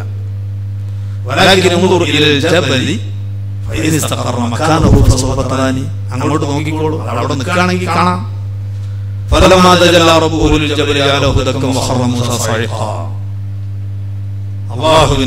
ഹിജാബ് എന്ന നൂറിന്റെ വളരെ ചെറിയ ഒരു സൂചിയിലൂടെ സൂചിയുടെ വാരത്തിലൂടെ വരാവുന്ന കഥ ആ പർവതത്തിൽ അങ്ങ് വന്നപ്പോഴേക്കും പർവതം തകർന്ന് തരിപ്പണമായി മൂസ ബോധം കെട്ടുകൊണ്ട് കാണാൻ കഴിഞ്ഞില്ല. കാണാൻ നിൽക്കണ്ടയാൾ ഈ ആളുകൾ തന്നെ ഈ അമ്പിയാക്കന്മാര് മാത്രമല്ല സാധാരണക്കാരായ മുസ്ലിങ്ങൾ തന്നെ ആഹൃത്തിൽ ചെന്നാൽ അള്ളാഹുവിനെ കാണുന്നു. കണ്ണിന് പവർ കൂടുന്നു. കണ്ണ് ഒരു പ്രത്യേകമായ ഒരവസ്ഥയിലേക്ക് മാറുന്നു. അപ്പൊ അള്ളാഹുവിന്റെ കലാം അതിന് ശബ്ദമില്ല അക്ഷരമില്ലെന്ന് പറഞ്ഞാൽ തന്നെ കേൾക്കാം. എന്നാണ് ഇമാം അശ്വരി നിങ്ങൾ പറയുന്നത്. നിങ്ങൾ ഹർഫും സൗത്തും ഇല്ലാതെ പിന്നെ എങ്ങനെ കേൾക്കൽ. എന്ന അഭിപ്രായം ഒരിക്കൽ പറഞ്ഞു കേൾക്കാം എന്ന് അവർ തന്നെ ഈ നിലയ്ക്ക് വിശദീകരിച്ച് പറഞ്ഞിട്ടുണ്ട്. അതുപോലെ മറ്റൊരു കാര്യമാണ്. മാലായുത്താക്കുള്ള തക്കലീഫ് ജംബുജാമിയിലൊക്കെ പറഞ്ഞല്ലോ. മാലായുത്താക്കുള്ള തക്കലീഫ് സാധിക്കുമോ ജായിസാണോ അല്ലേ? മുഹാൽ അസംഭവ്യമായ നടക്കാൻ സാധിക്കുക. സാധ്യമല്ല. അത് ഉണ്ടാവില്ല. അങ്ങനെയുള്ള കാര്യം തക്കലീഫ് ചെയ്യാമോ? അവിടെ മാതുരീതികൾ അത് സാധ്യമല്ല. എന്നും അശരികൾ സാധ്യമാണ് എന്നും നിലപാടില്ല. നമ്മൾ പഠിച്ചിട്ടുണ്ടല്ലോ. അസാധ്യമായ സംഗതികൾ കൽപ്പിച്ചിട്ട് കാര്യമില്ല അത് നടക്കൂല. അതുകൊണ്ട് അള്ളാഹു അത് കൽപ്പിക്കുകയില്ല. അതൊക്കെ അവസാണ് വെറുതെയാണ്. അപ്പൊ അങ്ങനെയുള്ള പണി അള്ളാഹു ചെയ്യില്ല എന്ന നിലപാട് മാതൃകകൾ സ്വീകരിക്കുന്നു. അശാചിറത്ത് അതിന് കുഴപ്പമില്ല. അതിന് കാരണം പറഞ്ഞില്ല. അതിന്റെ മുഖദ്യമാതിൽ പ്രവേശിക്കുമോ എന്ന് പരിശോധിക്കലാണ് അതിന്റെ ആവശ്യം. മല ഇങ്ങോട്ട് എടുത്തുകൊണ്ട് വരാൻ വേണ്ടി അള്ളാഹു തല ഒരാളെ പറഞ്ഞേക്കാമോ എന്ന് ഉദാഹരണം പറയാം. ആ കാണുന്ന മാല ഇങ്ങോട്ട് എടുത്തുകൊണ്ടുപോവാ എന്ന് പറഞ്ഞ അള്ളാഹു ഒരു സാധാരണക്കാരനോട് അത് കൽപ്പിക്കാമോ? അത് അസാധ്യമാണ് അവനെ കൊണ്ട് സാധ്യമല്ല. കൽപ്പിക്കാമെന്നാണ് ഇമാം അബ്ദുൽ തങ്ങൾ പറയുന്നത്. അതെന്താ കാര്യം ഇല്ല. അത് പറഞ്ഞിട്ട് കാര്യമില്ല. അവൻ വെറുതെ നടക്കല്ലേ ഉള്ളൂ. കാര്യമുണ്ട്. മല എടുത്ത് കൊണ്ടുവരുന്നതിന് മുമ്പ് അതിനു വേണ്ടി കുറച്ച് തയ്യാറെടുപ്പുകളൊക്കെ വേണ്ടേ? അങ്ങോട്ടൊരു തിരികെ തെരിയൊക്കെ എടുത്തിട്ട് നല്ല ഉഷാറുള്ള മല മല തലയിൽ വെക്കാനല്ലേ? നല്ല ഉഷാറുള്ള ഒക്കെ കെട്ടി എന്നാൽ അങ്ങോട്ട് പോയി വെളുത്ത തുണി കുപ്പായൊക്കെ നയിച്ചു വെച്ചു ഒരു വെളുത്ത തുണി കുപ്പായൊക്കെ എടുത്ത് അതിന് ഒരുങ്ങി എന്നാൽ അങ്ങോട്ട് ചെന്ന് മലയുടെ താഴെ ഒന്ന് ചെന്ന് ഒന്ന് തെരുവൊക്കെ തലയിൽ വെച്ച് വന്നങ്ങ് കുത്തി നോക്കണം പോകുമോന്ന് ഇത്രയും അവന് ചെയ്തുകൂടെ? ഇതൊരു സ്ഥലമാണ് അള്ളാഹു താല മല എടുക്കാൻ പറഞ്ഞപ്പോ ഞാൻ എന്നെ കൊണ്ട് സാധ്യമാകുന്നതെല്ലാം ചെയ്തു. പക്ഷെ മല പൊങ്ങിയില്ലെന്ന് പറയാം അവന് കൂലിട്ടും മറ്റവനെ ഇവിടുന്ന് സിദ്ധാന്തം പറഞ്ഞിരുന്നു. അയാൾ അത് നടക്കാൻ പോണല്ലേ ഞാൻ ഒരുങ്ങണില്ല എന്ന നിലപാട് സ്വീകരിച്ചവന് കൂലില്ല അതിന് ഒരുങ്ങി അവസാനം ഏതായാലും മല പൊങ്ങിയില്ലെങ്കിലും അതുവരെ പ്രവർത്തിച്ചതൊക്കെ അവൻ ആ വാക്ക് അനുസരിച്ചതാണല്ലോ. അതിന് അവന് കൂലിയുണ്ട്. അവ മഹാലുകൊണ്ട് തകരാറൊന്നുമില്ല സ്ത്രീകളുടെ നുപൂവത്ത് പെണ്ണുങ്ങൾ നബിമാരാകാൻ പറ്റുമോ എന്നതും ഒരു ചർച്ച ചെയ്യപ്പെട്ടതാണ്. അശ്വരി മാതുരീതി രണ്ട് വിഭാഗങ്ങളുടെ ഇടയിൽ വ്യത്യസ്ത അഭിപ്രായമുള്ളതാണ്. സ്ത്രീകൾ നബിമാരാകുമോ? ആകാൻ പറ്റുമോ? പറ്റില്ല എന്നാണ് അബു മൻസൂർ മാതുരീതി നിങ്ങൾ പറയുന്നത്. ആ വിഭാഗം അശ്വരികളിൽപ്പെട്ട പലരും അത് പറ്റും. ജായിസാണ് എന്ന് പറഞ്ഞവരാ. പക്ഷെ ഉണ്ടായിട്ടില്ല. ജായിസാകുന്നത് മുഴുവൻ ഉണ്ടാകണമെന്നില്ലല്ലോ. അങ്ങനെ ആക്കിയാൽ എന്താ പിന്നെ കുഴപ്പം? നബി ഒരു പെണ്ണിനെ നബിയാക്കിയാൽ നബിയായി വിചാരിച്ചിട്ട് പുറത്തിറങ്ങേണ്ട ആവശ്യമൊന്നുമില്ലല്ലോ. അവളെ കാണേണ്ട ആവശ്യമില്ല അന്നരെ കാണേണ്ട ആവശ്യമില്ല. നബിയാകുമ്പോൾ തൊഴിൽ കൽപ്പന ഉണ്ടായിക്കോളന്നില്ല അനുഭവത്തിൽ. അവർ നല്ല നിലക്കങ്ങ് ജീവിച്ചാൽ മതി. അവരുടെ കുടുംബത്തിലുള്ള അവരുടെ മക്കളും അവരെ ആങ്ങളവരും എട്ടത്തോളം ഒക്കെ ഈ വിവരങ്ങളൊക്കെ അറിഞ്ഞു അള്ളാഹുവിന്റെ നിർദ്ദേശം അനുസരിച്ച് നല്ല നിലയ്ക്ക് ഒരു പെണ്ണ് ജീവിക്കുന്നു എങ്കിൽ ആ ജീവിതം കണ്ടുപിടിച്ച് ജീവിക്കേണ്ടതുണ്ട് രണ്ട് നിലക്കുണ്ടല്ലോ പ്രബോധനം. പ്രബോധനവും കാര്യങ്ങളൊക്കെ പ്രബോധനത്തിന്റെ രൂപമാണ്. എന്നാ മഹാന്മാരായ ഉലിയാക്കന്മാര് നമ്മുടെ മുമ്പിൽ ജീവിച്ചു പോയവർ ഒരുപക്ഷെ ജീവിതത്തിൽ പ്രസംഗിച്ചിട്ടുണ്ടാവില്ല ദർശനം നടത്തിയിട്ടുണ്ടാവില്ല. പക്ഷേ വിശുദ്ധ ജീവിതം നയിച്ച ആളുകളെ കണ്ട് ഹിതായത്തിലായി ജീവിച്ച എത്രയോ ആളുകളുണ്ട്. അതും ഒരു പ്രബോധന ശൈലിയാണ് അപ്പൊ എന്നതുകൊണ്ട് കുഴപ്പമൊന്നുമില്ല പക്ഷെ ഉണ്ടായിട്ടില്ല.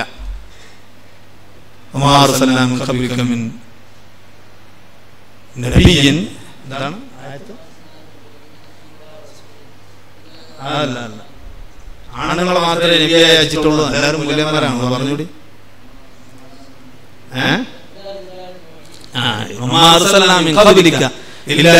നുഹി കാലത്തൊന്നും ആണുങ്ങളല്ലാതെ ആരെയും നാം അയച്ചിട്ടില്ല. എന്നാൽ ഒരു പെണ്ണിനെ നബി ആക്കാമോ? അതിന് കുഴപ്പമൊന്നുമില്ല. നുപുവത്ത് കൊണ്ട് പ്രബോധനം പൊതു പ്രബോധനം നിർബന്ധമില്ല. അപ്പൊ റസൂലാകാനാണല്ലോ അത് വേണ്ടത്. അതുപോലെ അള്ളാഹുവിന്റെ ഫെയിലുകൾക്ക് ഇല്ലത്ത് കാരണങ്ങൾ പറയാമോ? ഇതൊരു ചർച്ചയാ. അള്ളാഹുവിന്റെ അഫ്ആലിന് അറാദ് കൊണ്ട് ഇന്ന കാരണത്തിന് ഇന്ന ആവശ്യത്തിന് വേണ്ടി അള്ളാഹു ഇന്നത് ചെയ്തു. എന്ന് പറയാൻ പറ്റുമോ? നമ്മൾ അത് പറ്റില്ല അള്ളാഹു ഏത് പ്രവൃത്തി ചെയ്തു? അള്ളാഹിന്റെ ഒരു പേരിനും അത് ഇന്ന കാരണത്തിന് വേണ്ടിയാണ് അള്ളാഹു ചെയ്തത്. എന്ന് പറയാൻ പാടില്ല. സാധ്യമല്ല. എങ്ങനെ പറയാൻ പറ്റും? ആ ശൈലിയിൽ ധാരാളം ഹദീസുകളായത്തുകളൊക്കെ വന്നിട്ടുണ്ട്. അള്ളാഹുവിനെ വിവാദം ചെയ്യാൻ വേണ്ടിയല്ലാതെ സൃഷ്ടിച്ചിട്ടില്ല എന്ന് അർത്ഥം പറഞ്ഞാൽ അള്ളാഹിന്റെ സൃഷ്ടിപ്പിന് കാരണമായി അത് വരും. അങ്ങനെ അള്ളാഹിന്റെ സൃഷ്ടിപ്പിന് കാരണം എങ്ങനെയാണ് നിരത്താൻ കഴിയുക? അപ്പോൾ അള്ളാഹു സമ്പൂർണനല്ല എന്നല്ലേ വരുന്നത്? ഒരു ലക്ഷ്യത്തിന് വേണ്ടി പ്രവർത്തിക്കുന്നയാൾ ആ ലക്ഷ്യം നേടാനാണല്ലോ പ്രവർത്തിക്കുന്നത്. പരീക്ഷയിൽ വിജയിക്കാൻ വേണ്ടി ഞാൻ എഴുതി പരീക്ഷയിൽ വിജയിക്കാൻ വേണ്ടി. അപ്പൊ വിജയം എന്റെ ഒരു ലക്ഷ്യമാണ്. അതെനിക്ക് ഇതുവരെ കിട്ടിയിട്ടില്ല. ഇനി ഞാൻ പ്രതീക്ഷിക്കുന്ന ഒരു കാലാണ് അങ്ങനെ ഏത് ലക്ഷ്യത്തിനു വേണ്ടി ആര് പ്രവർത്തിക്കുന്നുവോ ആ ലക്ഷ്യം അവൻ പ്രതീക്ഷിക്കുന്ന ഒരു കമാലാണ്. അള്ളാഹുവിന് പ്രതീക്ഷിച്ചിരിക്കേണ്ട കമാലുകളൊന്നുമില്ലല്ലോ. എല്ലാ കമാലും സമ്പൂർണമായ അള്ളാഹുവിന്. അള്ളാഹുവിന്റെ ഏതൊരു പ്രവൃത്തിയും ഇന്ന കാരണത്തിന് വേണ്ടി അള്ളാഹു ചെയ്തു എന്ന് പറയാൻ നിർവാഹമില്ല.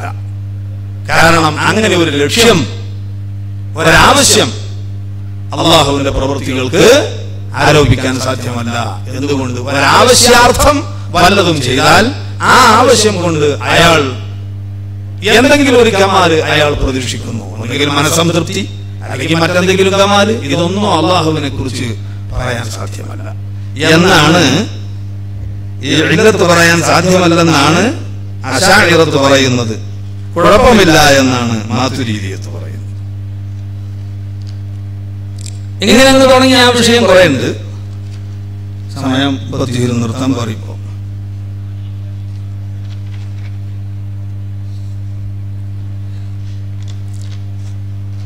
കലാവും കതറും. അത് നേരത്തെ ചർച്ച ചെയ്തല്ലോ അല്ലേ? കലാവും കതറും ഒക്കെ നേരത്തെ ചർച്ച ചെയ്തു വന്നു.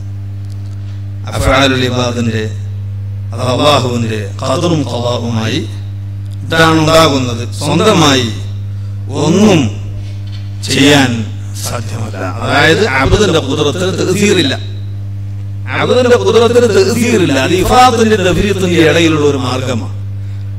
അവിടെ ജബരിയത്ത് ജബരിയത്തുണ്ട് അവർ അബദിന് ഒരു ഇഖ്തിയാറുമില്ല. അബദ് എഴുതുന്നവന്റെ കയ്യിലെ പേന പോലെയാണ്. ആ പേനയ്ക്ക് യാതൊരു മനസ്സറിവുമില്ല ഈ എഴുത്തിൽ. നാം അതുകൊണ്ട് എഴുതുന്നു. നമുക്ക് സമ്പൂർണമായി അതങ്ങ് കീഴ്പ്പെടുന്നു. അതിന് ഒരു മനസ്സറിവില്ല ഞാൻ ആ എഴുതിയാൽ പേന ബാ എന്നാക്കില്ല. ഞാൻ എന്താ എഴുതുന്ന വെച്ചെങ്കിൽ അങ്ങനെ തന്നെ എഴുതുള്ളൂ. ഇങ്ങനെയാണ് മനുഷ്യർ അള്ളാഹുവിന്റെ വെറും ഉപകരണമാണ്. എഴുതുന്നവന്റെ കയ്യിലെ പേന പോലെയാണ് മുറിക്കുന്നവന്റെ കയ്യിലെ കത്തി പോലെയാണ് എന്ന നിലപാടുകാരാണ് ജബറിന്റെ അഹലുകാർ.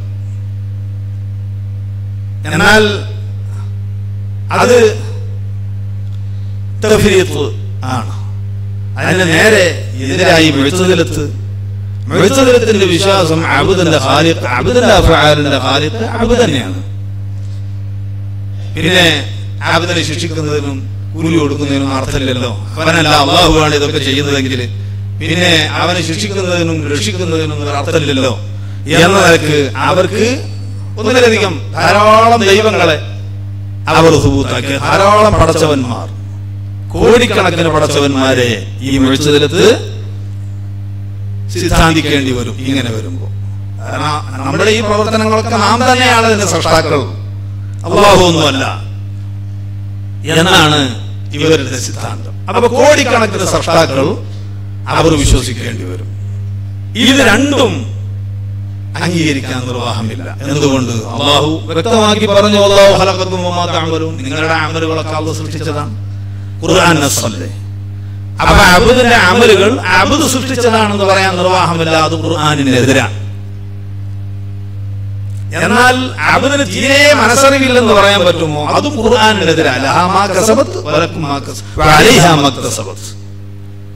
മറ്റായത്ത് പറഞ്ഞല്ലോ. ഒരു മനുഷ്യൻ അവന് നന്മ ചെയ്തെങ്കിൽ അത് അവന് ഗുണമായി ഭവിക്കും. തിന്മ ചെയ്താൽ അവന് അത് ഉപദ്രവമായി ഭവിക്കും. അപ്പൊ മനുഷ്യൻ ചെയ്തത് മനുഷ്യന് കസുബ് അള്ളാഹു സുബൂത്താക്കിയിട്ടുണ്ട്. എന്നാൽ മനുഷ്യന്റെ അമലുകളെ അള്ളാഹുവാണ് സൃഷ്ടിക്കുന്നത് എന്ന് മറ്റേ ആയത്തിൽ പറഞ്ഞിട്ടുണ്ട്.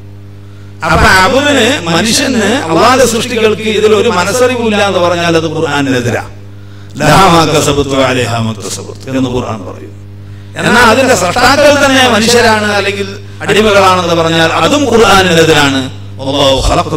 തഅമലൂൻ. നിങ്ങളുടെ അമൽ അള്ളാഹ് സൃഷ്ടിച്ചതാണ്. അപ്പൊ ഇതിനിടയിലുള്ള ഒരു മധ്യമ മാർഗമാണ് ഹക്കായ മാർഗം അതാണ് ജമാഅത്തിന്റെ വിശ്വാസം അബുദ് കാസിബാണ് അല്ലാഹു ഖാലിഖ. അല്ലാഹു സൃഷ്ടിക്കുന്നു. അബുദ് കസ്ബ് ചെയ്യുന്നു. ഉദാഹരണം പറഞ്ഞാൽ ഒരാൾ ആക്സിഡന്റ് ആയി ഹോസ്പിറ്റലിൽ കൊണ്ടുപോയി അയാളെ കൈ ഒടിഞ്ഞിരിക്കുന്നു ഡോക്ടർ വന്ന് പരിശോധിക്കുന്നു കൈ പൊക്ക് എന്ന് പറഞ്ഞു അയാൾ. അയാളോട് കൈ ഉയർത്തു എന്ന് പറഞ്ഞു.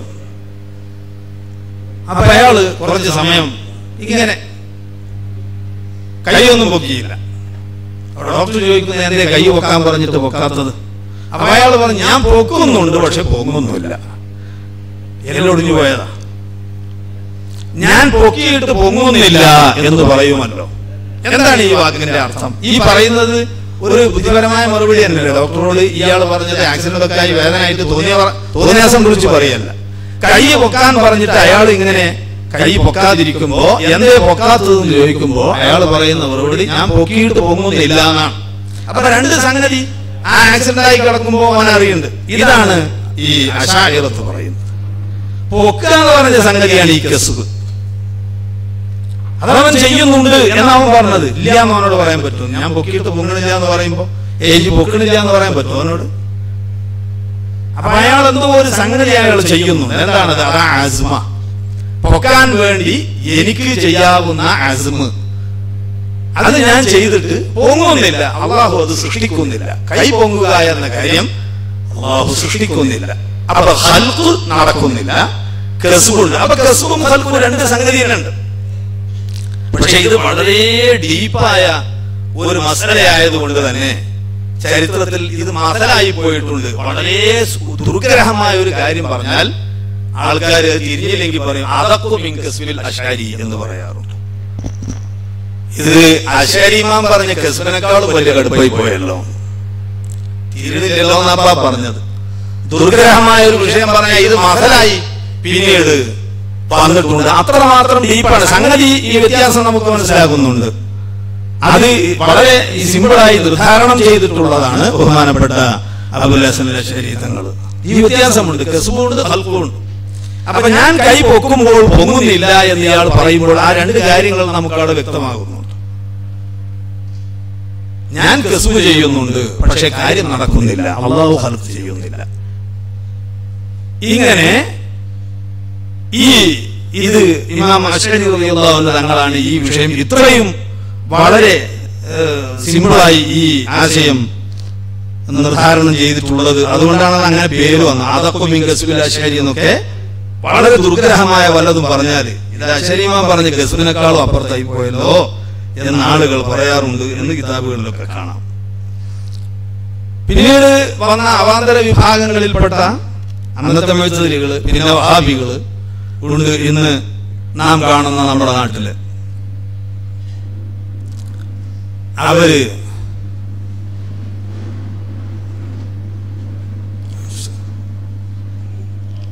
തൗഹീദിനെ യാതൊരു അടിസ്ഥാനവുമില്ലാതെ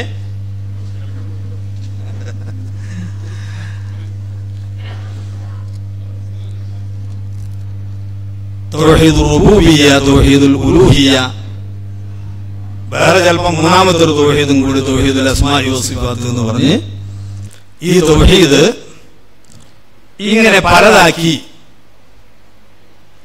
മക്കയിലെ കാഫിര്യങ്ങൾ ആ സലഫു സാലിഹ്യങ്ങളുടെ വിശ്വാസം ആ വിശ്വാസത്തിൽ നിൽക്കുന്ന മൂമിനിയങ്ങളെ അവരെ കാഫറാക്കാൻ വേണ്ടിയിട്ട് ഇബിന് തീമിയാണ് ഇതിന്റെ തുടക്കക്കാരൻ. ഇബിന് തീമിയന്റെ വാപ്പ ആണ് അവിടെ അധികാരത്തിലുണ്ടായിരുന്ന ഒരാളാ. അന്നത്തെ മുഫ്തിയാണ് സർക്കാർ മുഫ്തി. അപ്പൊ അയാൾ മരിച്ചപ്പോ ഇയാളെ തലസ്ഥാനത്താക്കി. ഇയാൾ ആ സ്ഥാനത്ത് വന്ന് ഇയാൾ കുറെയൊക്കെ ഇത്തരമുണ്ട് കുറെയൊക്കെ പുസ്തകം വായിച്ചു മറ്റൊക്കെ പരിചയമുണ്ട്. പക്ഷേ പുസ്തകം വായിച്ചു കിട്ടിയ എന്നതാണ് എന്നത് അറിയാത്തതാണ് ഈ വിദഗ്ധക്കാരുടെ ഒക്കെ അപകടത്തിന് കാരണം.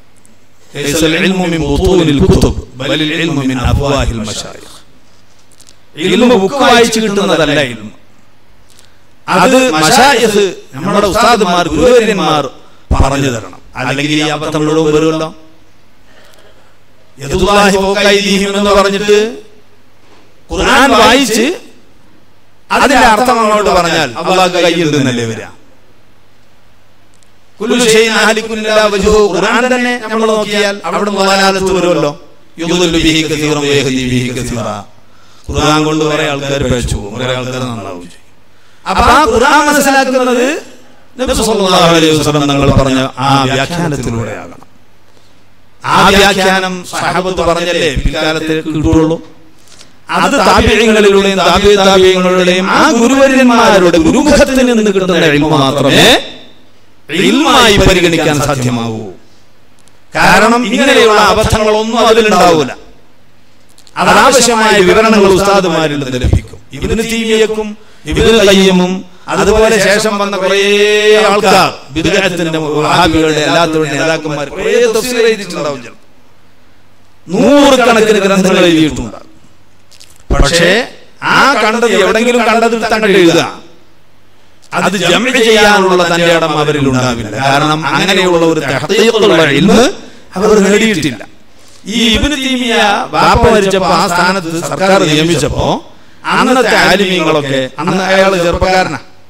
അന്നത്തെ ആലിമീങ്ങളൊക്കെ അയാൾക്ക് പിന്തുണ കൊടുക്കുകയും പ്രശംസിക്കുകയും ചെയ്തു. കാരണം ഈ ഒരു ചെറുപ്പക്കാരൻ മൂലയല്ലേ ഇങ്ങനെ വളർന്നു വരുന്നിടത്ത് നമ്മളൊക്കെ അന്നത്തെ കാരണന്മാരായ ആലിമീങ്ങൾ സുന്ദരമായ പണ്ഡിതന്മാർ. അയാൾക്ക് പിന്തുണ കൊടുത്ത് ഒന്ന് പ്രശംസിച്ചു ആൾ ഉഷാറാണെന്നൊക്കെ പറഞ്ഞ് അങ്ങനെ ഇയാൾ അങ്ങോട്ട് കുഞ്ഞാപ്പോയി കുറച്ച് കഴിയുമ്പോഴേക്കും ആളുകളുടെ ഈ പ്രശംസയൊക്കെ പാടെ കേട്ട് ഞാൻ യോഗ്യൻ തന്നെയാണ് എന്ന് അയാൾക്ക് തോന്നുകയും പിന്നെ അയാൾ ഓരോ പുതിയ പുതിയ വാദങ്ങൾ ഉന്നയിക്കുകയും തുടങ്ങി. അറുപതോളം മസലകളിൽ സാബിത്തായി ഇജ്മാഇനോട് അയാൾ എതിര് പറഞ്ഞിട്ടുണ്ട്. അന്നത്തെ പ്രശംസിച്ച പണ്ഡിതന്മാർ മുഴുവൻ എതിർത്തു. അയാൾ കാഫിറാണെന്ന് വരെ കിതാബ് എഴുതി. അയാളാണ് ഈ തൗഹീദ് രണ്ട് മൂന്ന് ആക്കി അന്നത്തെ മൊയ്തലികളും അന്നത്തെ വഹാബികൾ ആ അന്നത്തെ കക്ഷികൾക്ക് സന്തോഷം ഉണ്ടാകുമല്ലോ അങ്ങനെ ആക്കിയാൽ. ഈ പരമ്പരാഗത ഓർത്തഡോക്സ് മുസ്ലിംകളെ മുഴുവൻ കാഫിര്യങ്ങളാക്കാൻ സൗകര്യമുള്ള ഒരു തക്സീമാണ് ഈ തൗഹീദിൽ നടത്തിയിട്ടുള്ളത് രണ്ടെണ്ണാക്കി വെച്ചു. ഇത് രണ്ടും ഒന്നുണ്ടാകാം മറ്റേതില്ലാതെ എന്ന് സിദ്ധാന്തിക്കുകയും ചെയ്തു. ഇത് തന്നെ അബദ്ധാണ് ഇത് രണ്ടും മുതലാജിമാനിയാണ് ഈ പറയുന്ന സംഗതികൾ. ഒന്നുണ്ടെങ്കിൽ മറ്റേതുണ്ട് അതില്ലെങ്കിൽ ഇതില്ല. പക്ഷെ ഇയാൾ പറഞ്ഞു മക്കയിലെ കാഫിര്യങ്ങൾക്ക് റൂബിയത്ത് തൗഹീദുർ റുബൂബിയ്യത്തിലൊക്കെ അവർക്ക് വിശ്വാസമുണ്ട്. അവർ പറയുമ്പോൾ അള്ളാഹുവിലേക്ക് അടുപ്പിക്കാൻ വേണ്ടിയാണ് ഇബാദത്ത് ചെയ്യണത് വിഗ്രഹങ്ങൾക്ക് എന്നൊക്കെ അവർ പറഞ്ഞു. അപ്പൊ അള്ളാഹിനെ പറ്റി ഒരു വിശ്വാസം റബ്ബാണെന്ന് വിശ്വാസമുണ്ട്. പക്ഷേ ഇലാഹാകുക എന്ന് പറഞ്ഞ് അത് അള്ളാഹുവിന് മാത്രം അവർ നൽകിയിട്ടില്ല. അതിലാണ് അവർ ശിർക്ക് നടത്തിയിട്ടുള്ളത്. ഇബാദത്ത് അള്ളാഹു അല്ലാത്തവർക്കും അവർ ചെയ്യും. വിഗ്രഹങ്ങൾക്കൊക്കെ അവർ ഇബാദത്ത് ചെയ്യും. പക്ഷേ റബ്ബ് അള്ളാഹു തന്നെയാണ്. എന്നവർ പറഞ്ഞു ഇത് തന്നെയാണ് ഈ സുന്നികൾ എന്ന് പറയുന്ന ജമാഅത്ത് അല്ലെങ്കിൽ അശായറത്തിന്റെ വിശ്വാസം. റബ്ബ് അള്ളാഹു തന്നെയാണ് എന്ന് വിശ്വാസമുണ്ടെങ്കിലും വിവാദത്ത് മറ്റു പലർക്കും ചെയ്യുന്നുണ്ട് ഒക്കെ അവർ ഇബാദത്താക്കി മാറ്റിയതാ. അപ്പൊ നമ്മളുടെ ഈ തൗഹീദിലേക്കുള്ള ക്ഷണം ഇസ്ലാമിലേക്കുള്ള ക്ഷണമല്ല. അത് മക്കാഫിരികളുടെ ആ വിശ്വാസത്തിലേക്കുള്ള ക്ഷമമായി തന്നെ സുന്നികളുടെ ഇസ്ലാം പ്രചാരണം കണക്കാക്കേണ്ടതുള്ളൂ. കാരണം അവരെല്ലാരും കൂടി കുടിച്ചാണ്ട് അള്ളാഹ് റബ്ബാണ് എന്ന് വിശ്വസിപ്പിക്കാനുള്ള പണി എടുക്കണുള്ളൂ. ഇതിന് ഇത്ര പണിയൊന്നും വേണ്ട. മക്കയിലെ മുശരിക്കങ്ങൾക്കും ഉണ്ടായിരുന്ന വിശ്വാസം. അപ്പൊ സുന്നികളുടെ ഇസ്ലാമിക പ്രബോധനം അത് മക്കയിലെ മുശരിക്കങ്ങളുടെ ശിർക്കിലേക്ക് ക്ഷണിക്കുന്നതിന് സമാ- സമാനമാണ്. മറ്റ് ഉലൂഹിയത്തിലുള്ള തൗഹീദാണ് വേണ്ടത്. അതാണ് സുന്നിയക്ക് ഇല്ലാത്തത് എന്ന് ജൽപ്പിക്കുകയും അന്നുള്ള ആ മുഴവം ആ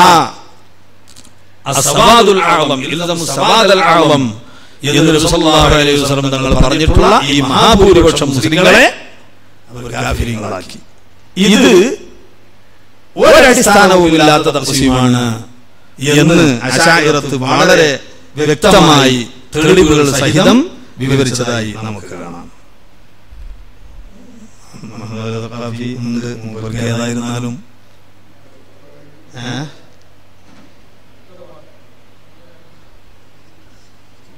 ശേഷം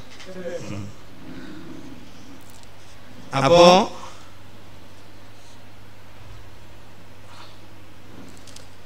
പിന്നെ വേറൊരു കാര്യം അവിടെ ഉള്ളത് ഇമാം അബുൽ ഹസൻ അഷരി അശ്ശരി റളിയല്ലാഹു അൻഹു ചരിത്രത്തിൽ തുല്യതയില്ലാത്ത ഒരു പണ്ഡിതനായി സർവരും അംഗീകരിച്ചപ്പോൾ ഇവർക്കും അംഗീകരിക്കാതിരിക്കാൻ നിർവാഹമില്ലാത്ത ഒരു സാഹചര്യം വന്നു. അങ്ങനെ അവർ അബുൽ ഹസൻ അശ്ശരി തങ്ങൾ അവരുടെ ആളാണ് എന്ന് വടക്കാക്കി തനിക്കാക്കുക എന്ന് പറഞ്ഞൊരു നിലപാട് എന്നാലും തരക്കടൊന്നുമില്ല അവരുടെ ആളാണ് എന്ന് അവർ ജൽപ്പിക്കാൻ ഇബാന എന്ന അബുൽ ഹസൻ അശ്ശരി തങ്ങളുടെ കിതാബ് അവർ ദുർവിഷീട്ടാക്കിയതായി കാണാം. ഇബാന ഖിലാഫില്ല ഇത്തിഫാക്ക പക്ഷേ ഇബാന എന്ന കിതാബ് കിതാബുൽ ഇബാനത്തി ഫി ഉസൂൽ ദിയാന. എന്ന കിതാബ് അതിൽ കണക്കറ്റ തെഹരീഫുകൾ വന്നിട്ടുണ്ട് എന്ന് ജമാഅത്തിന്റെ പണ്ഡിതന്മാർ വളരെ വ്യക്തമായി ധാരാളം കിതാബുകളിൽ എഴുതിയതായി കാണാം. അതിന് തെഹരീഫ് വളരെ തെളിവ് സഹിതം ബഹുമാനപ്പെട്ട ഇബ്നു അസാക്കിർ തങ്ങൾ തബീനു ഗദിബിൽ മുഫ്തരി എന്ന കിതാബിൽ ഇബാനയിൽ നിന്ന് കോട്ട് ചെയ്ത ഭാഗങ്ങളുണ്ട്. ഇന്ന് വിപണിയിലുള്ള ഇബാനയിൽ അതിന്റെ നേരെ വിരുദ്ധമായ ആശയങ്ങളാണ് അപ്പൊ ഇബാനയെ വികലമാക്കി. ഇന്നത്തെ വഹാബി തൗഹീദ് അവരുടെ വിശ്വാസത്തിന് അനുകൂലമായി അള്ളാഹു അർശമ്പൽ ഇരിക്കുകയാണ്. അള്ളാഹുവിന് ജിഹത്തുണ്ട്. തഷ്ബീഹൊക്കെ കാണിക്കുന്ന വിധത്തിലുള്ള വിശ്വാസം തന്നെയാണ് അബുൽ ഹസൻ അശ്ശരിയുടെ വിശ്വാസമെന്നും അത് അദ്ദേഹത്തിന്റെ ഇബാന എന്ന ഗ്രന്ഥത്തിൽ ഉണ്ടെന്നും ആണ് ഇന്ന് ഉയർത്തി കാണിക്കുന്നത്. എന്നാൽ ഇന്ന് വിപണിയിലുള്ള ഇബാനയുടെ മൂന്ന് നാല് നുസ്ഖകൾ അതിലെല്ലാം ഈ തഹരീഫുണ്ട് അതുകൊണ്ട് ഇബാൻ അബുൽ ഹസൻ അശ്ശേരി തങ്ങളുടേതാണ് എന്ന് ഉറപ്പാണെങ്കിലും അത് അശ്ശരി മദ്ഹബിൽ മുഅ്തമദായ കിതാബേ അല്ല. കാരണം അതിന്റെ ശരിയായ രൂപം ലഭ്യമല്ല. അത് ഇവർ വികലമാക്കിയത് മാത്രമുള്ളത്. എഴുതിയ ആ ട്രൂ കോപ്പി വല്ലത് എവിടെങ്കിലും ഉണ്ടെങ്കിൽ ആർക്കും കിട്ടിയില്ലേ ഇനി അത് കിട്ടുള്ളൂ അതിനുള്ള സാധ്യത വിരളമാണ് താനും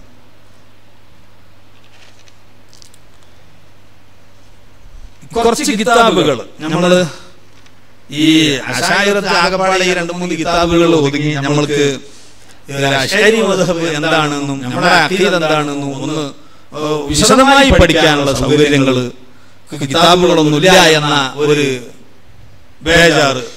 അത് നമുക്ക് ആ കിതാബുകളെ കുറിച്ച് പരിചയം ഇല്ലാത്തത് കൊണ്ടാണ് കുറേ കിതാബുകളുണ്ട്. കുറച്ച് കിതാബുകളുടെ പേര് വായിക്കാം. അശ്ശരി അൻഹു തങ്ങൾക്ക് തന്നെ മൂന്ന് കിതാബുകൾ ഇവിടെ നമുക്ക് കിട്ടുന്നതുണ്ട്. മഖാലാത്തുൽ ഇസ്ലാമിയീന വഖ്തിലാഫുൽ മുസല്ലീൻ എന്നൊരു കിതാബ്. വേറൊരു കിതാബ്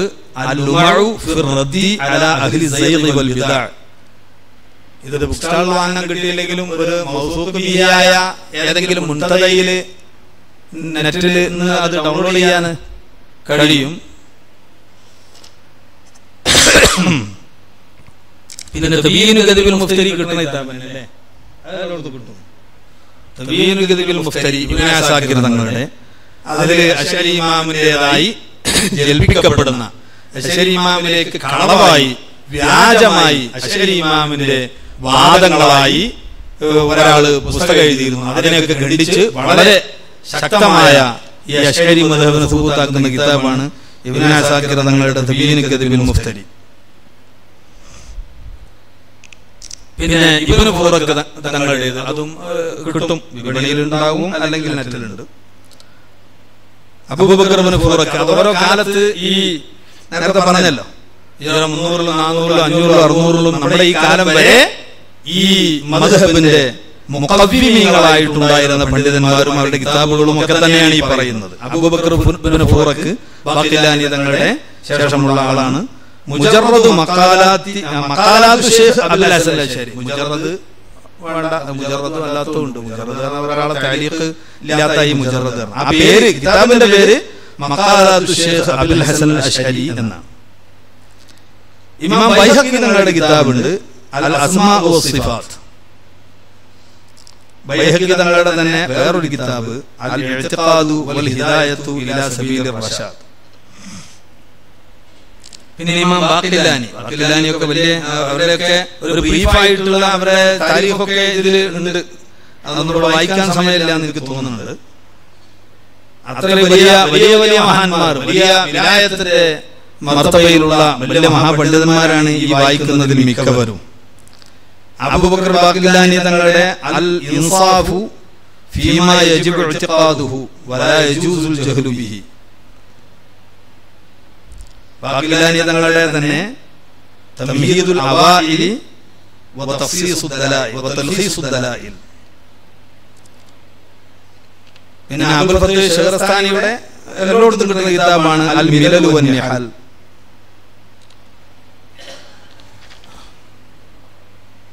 പിന്നെ അബൂബക്കർ ഇബ്നു അറബി ഇബ്നു അറബി തങ്ങൾ ഉണ്ടല്ലോ. അൽ അവാസിമു മിനൽ ഖവാസിം എന്ന കിതാബ്.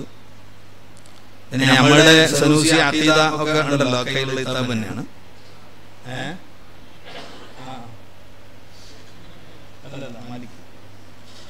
അറബി മാലിക്കിയുടെ അൽ അൽ അവാസിമു മിനൽ ഖവാസിം.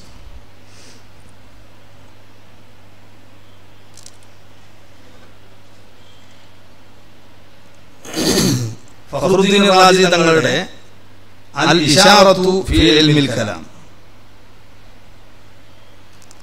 അദ്ദേഹത്തിന്റെ തന്നെ തഖ്ദീസി എന്ന കിതാബ്. അസാസു തഖ്ദീസ് എന്നും അതിന് പേര് പറയാറുണ്ട്.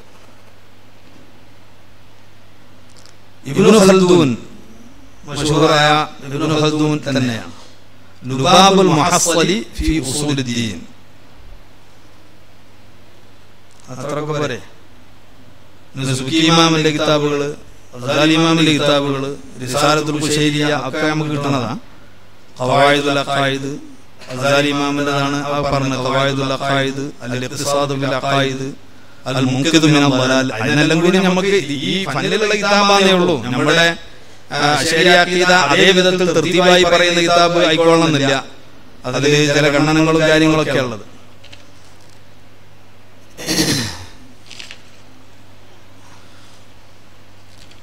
ഇബിന് തീമിയെ കുറിച്ച് നമ്മൾ പറഞ്ഞത് ഇവിടെ തപക്കാത്തിൽ കാണാം.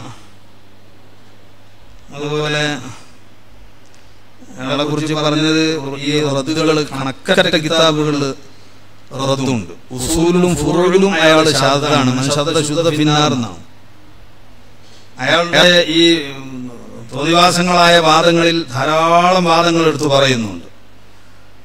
ഇജ്മായിനെതിരായതും മറ്റുമൊക്കെ അത് അയാളെ വാദമാണ് ഈ മുത്തലാക്ക് മൂന്ന് തലാക്കിലെ ഒരു തലാക്കേ പോകുള്ളൂ എന്ന് വഹാബികൾ പറയുന്നത് ഇവന് തീമിയന്റെ വാദമാണ് അതുപോലെ ഹൈദുകാരിയെ തൊലാക്ക് ചൊല്ലിയാൽ തൊലാക്ക് സംഭവിക്കൂല എന്ന അയാളെ വാദം. അതൊക്കെ ഇജുമായിനെതിരായ വാദങ്ങളാണ്.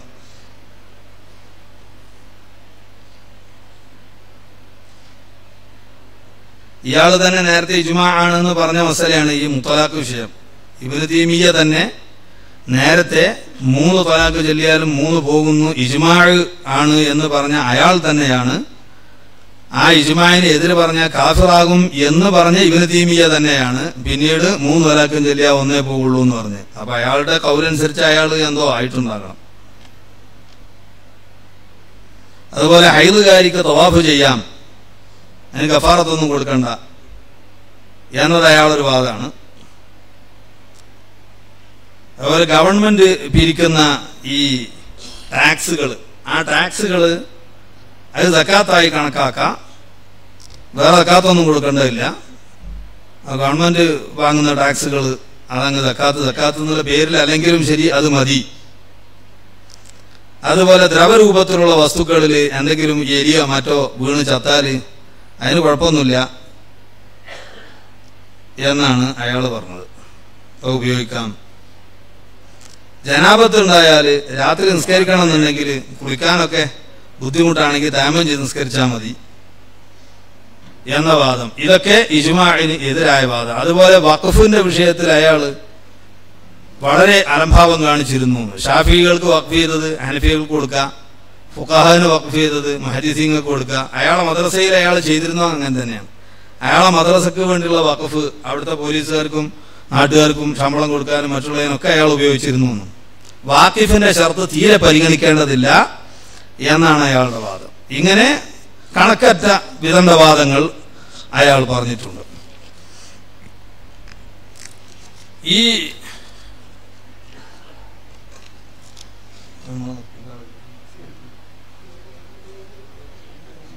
ആ നമുക്ക് ഇനി അധികം നീട്ടിക്കൊണ്ട് പോകുന്നില്ല. ഉച്ചന്റെ ദിവസം നിസ്കാരം ഭക്ഷണം സെഷന് ആരംഭിക്കേണ്ടതുള്ളത് കൊണ്ട് നിർത്താണ്. ഈ വിഷയത്തിൽ നമുക്ക് ലഭ്യമായ കിതാബുകൾ എമ്പാടുണ്ട് നമ്മൾ നോക്കുമ്പോൾ കിതാബൊന്നും ഇല്ല എന്നായിരുന്നു നേരത്തെ ബേജാറ്. എല്ലാ കിതാബുകളും കഴിയുന്നത്ര നാം സംഘടിപ്പിച്ചു. ഈ വിഷയത്തിൽ ഇതൊരു തുടക്കം ഒരു ഉണർത്തൽ എന്ന് മാത്രമേ ഉള്ളൂ. എവിടെയും എത്തിയിട്ടില്ല. ഇത്ര കുറഞ്ഞ സമയം കൊണ്ട് എവിടെ എത്തിക്കാനും സാധ്യമല്ല. ഇനി ബഹുമാനപ്പെട്ട അഹമ്മദ് സഖാഫി നമുക്ക് ക്ലാസ് എടുക്കേണ്ടതുണ്ട്. ഭക്ഷണം നിസ്കാരമൊക്കെ കഴിഞ്ഞിട്ട് അപ്പോൾ അതിന് ടൈം കീപ്പ് ചെയ്യുന്നതിന് വേണ്ടി തൽക്കാലം നാം ഇതിവിടെ നിർത്തുകയാണ്. അള്ളാഹു താല ഹക്ക് മനസ്സിലാക്കി ബാത്തുലിനെ പ്രതിരോധിച്ച് ഹക്കിന്റെ വാഹകരായി മുന്നോട്ട് പോകാൻ അള്ളാഹു തൗഫീഖ് ചെയ്യുമാറാകട്ടെ അസ്സാം വലൈക്കും സെക്കൻഡ് സെഷനിലെ വിഷയാവതരണം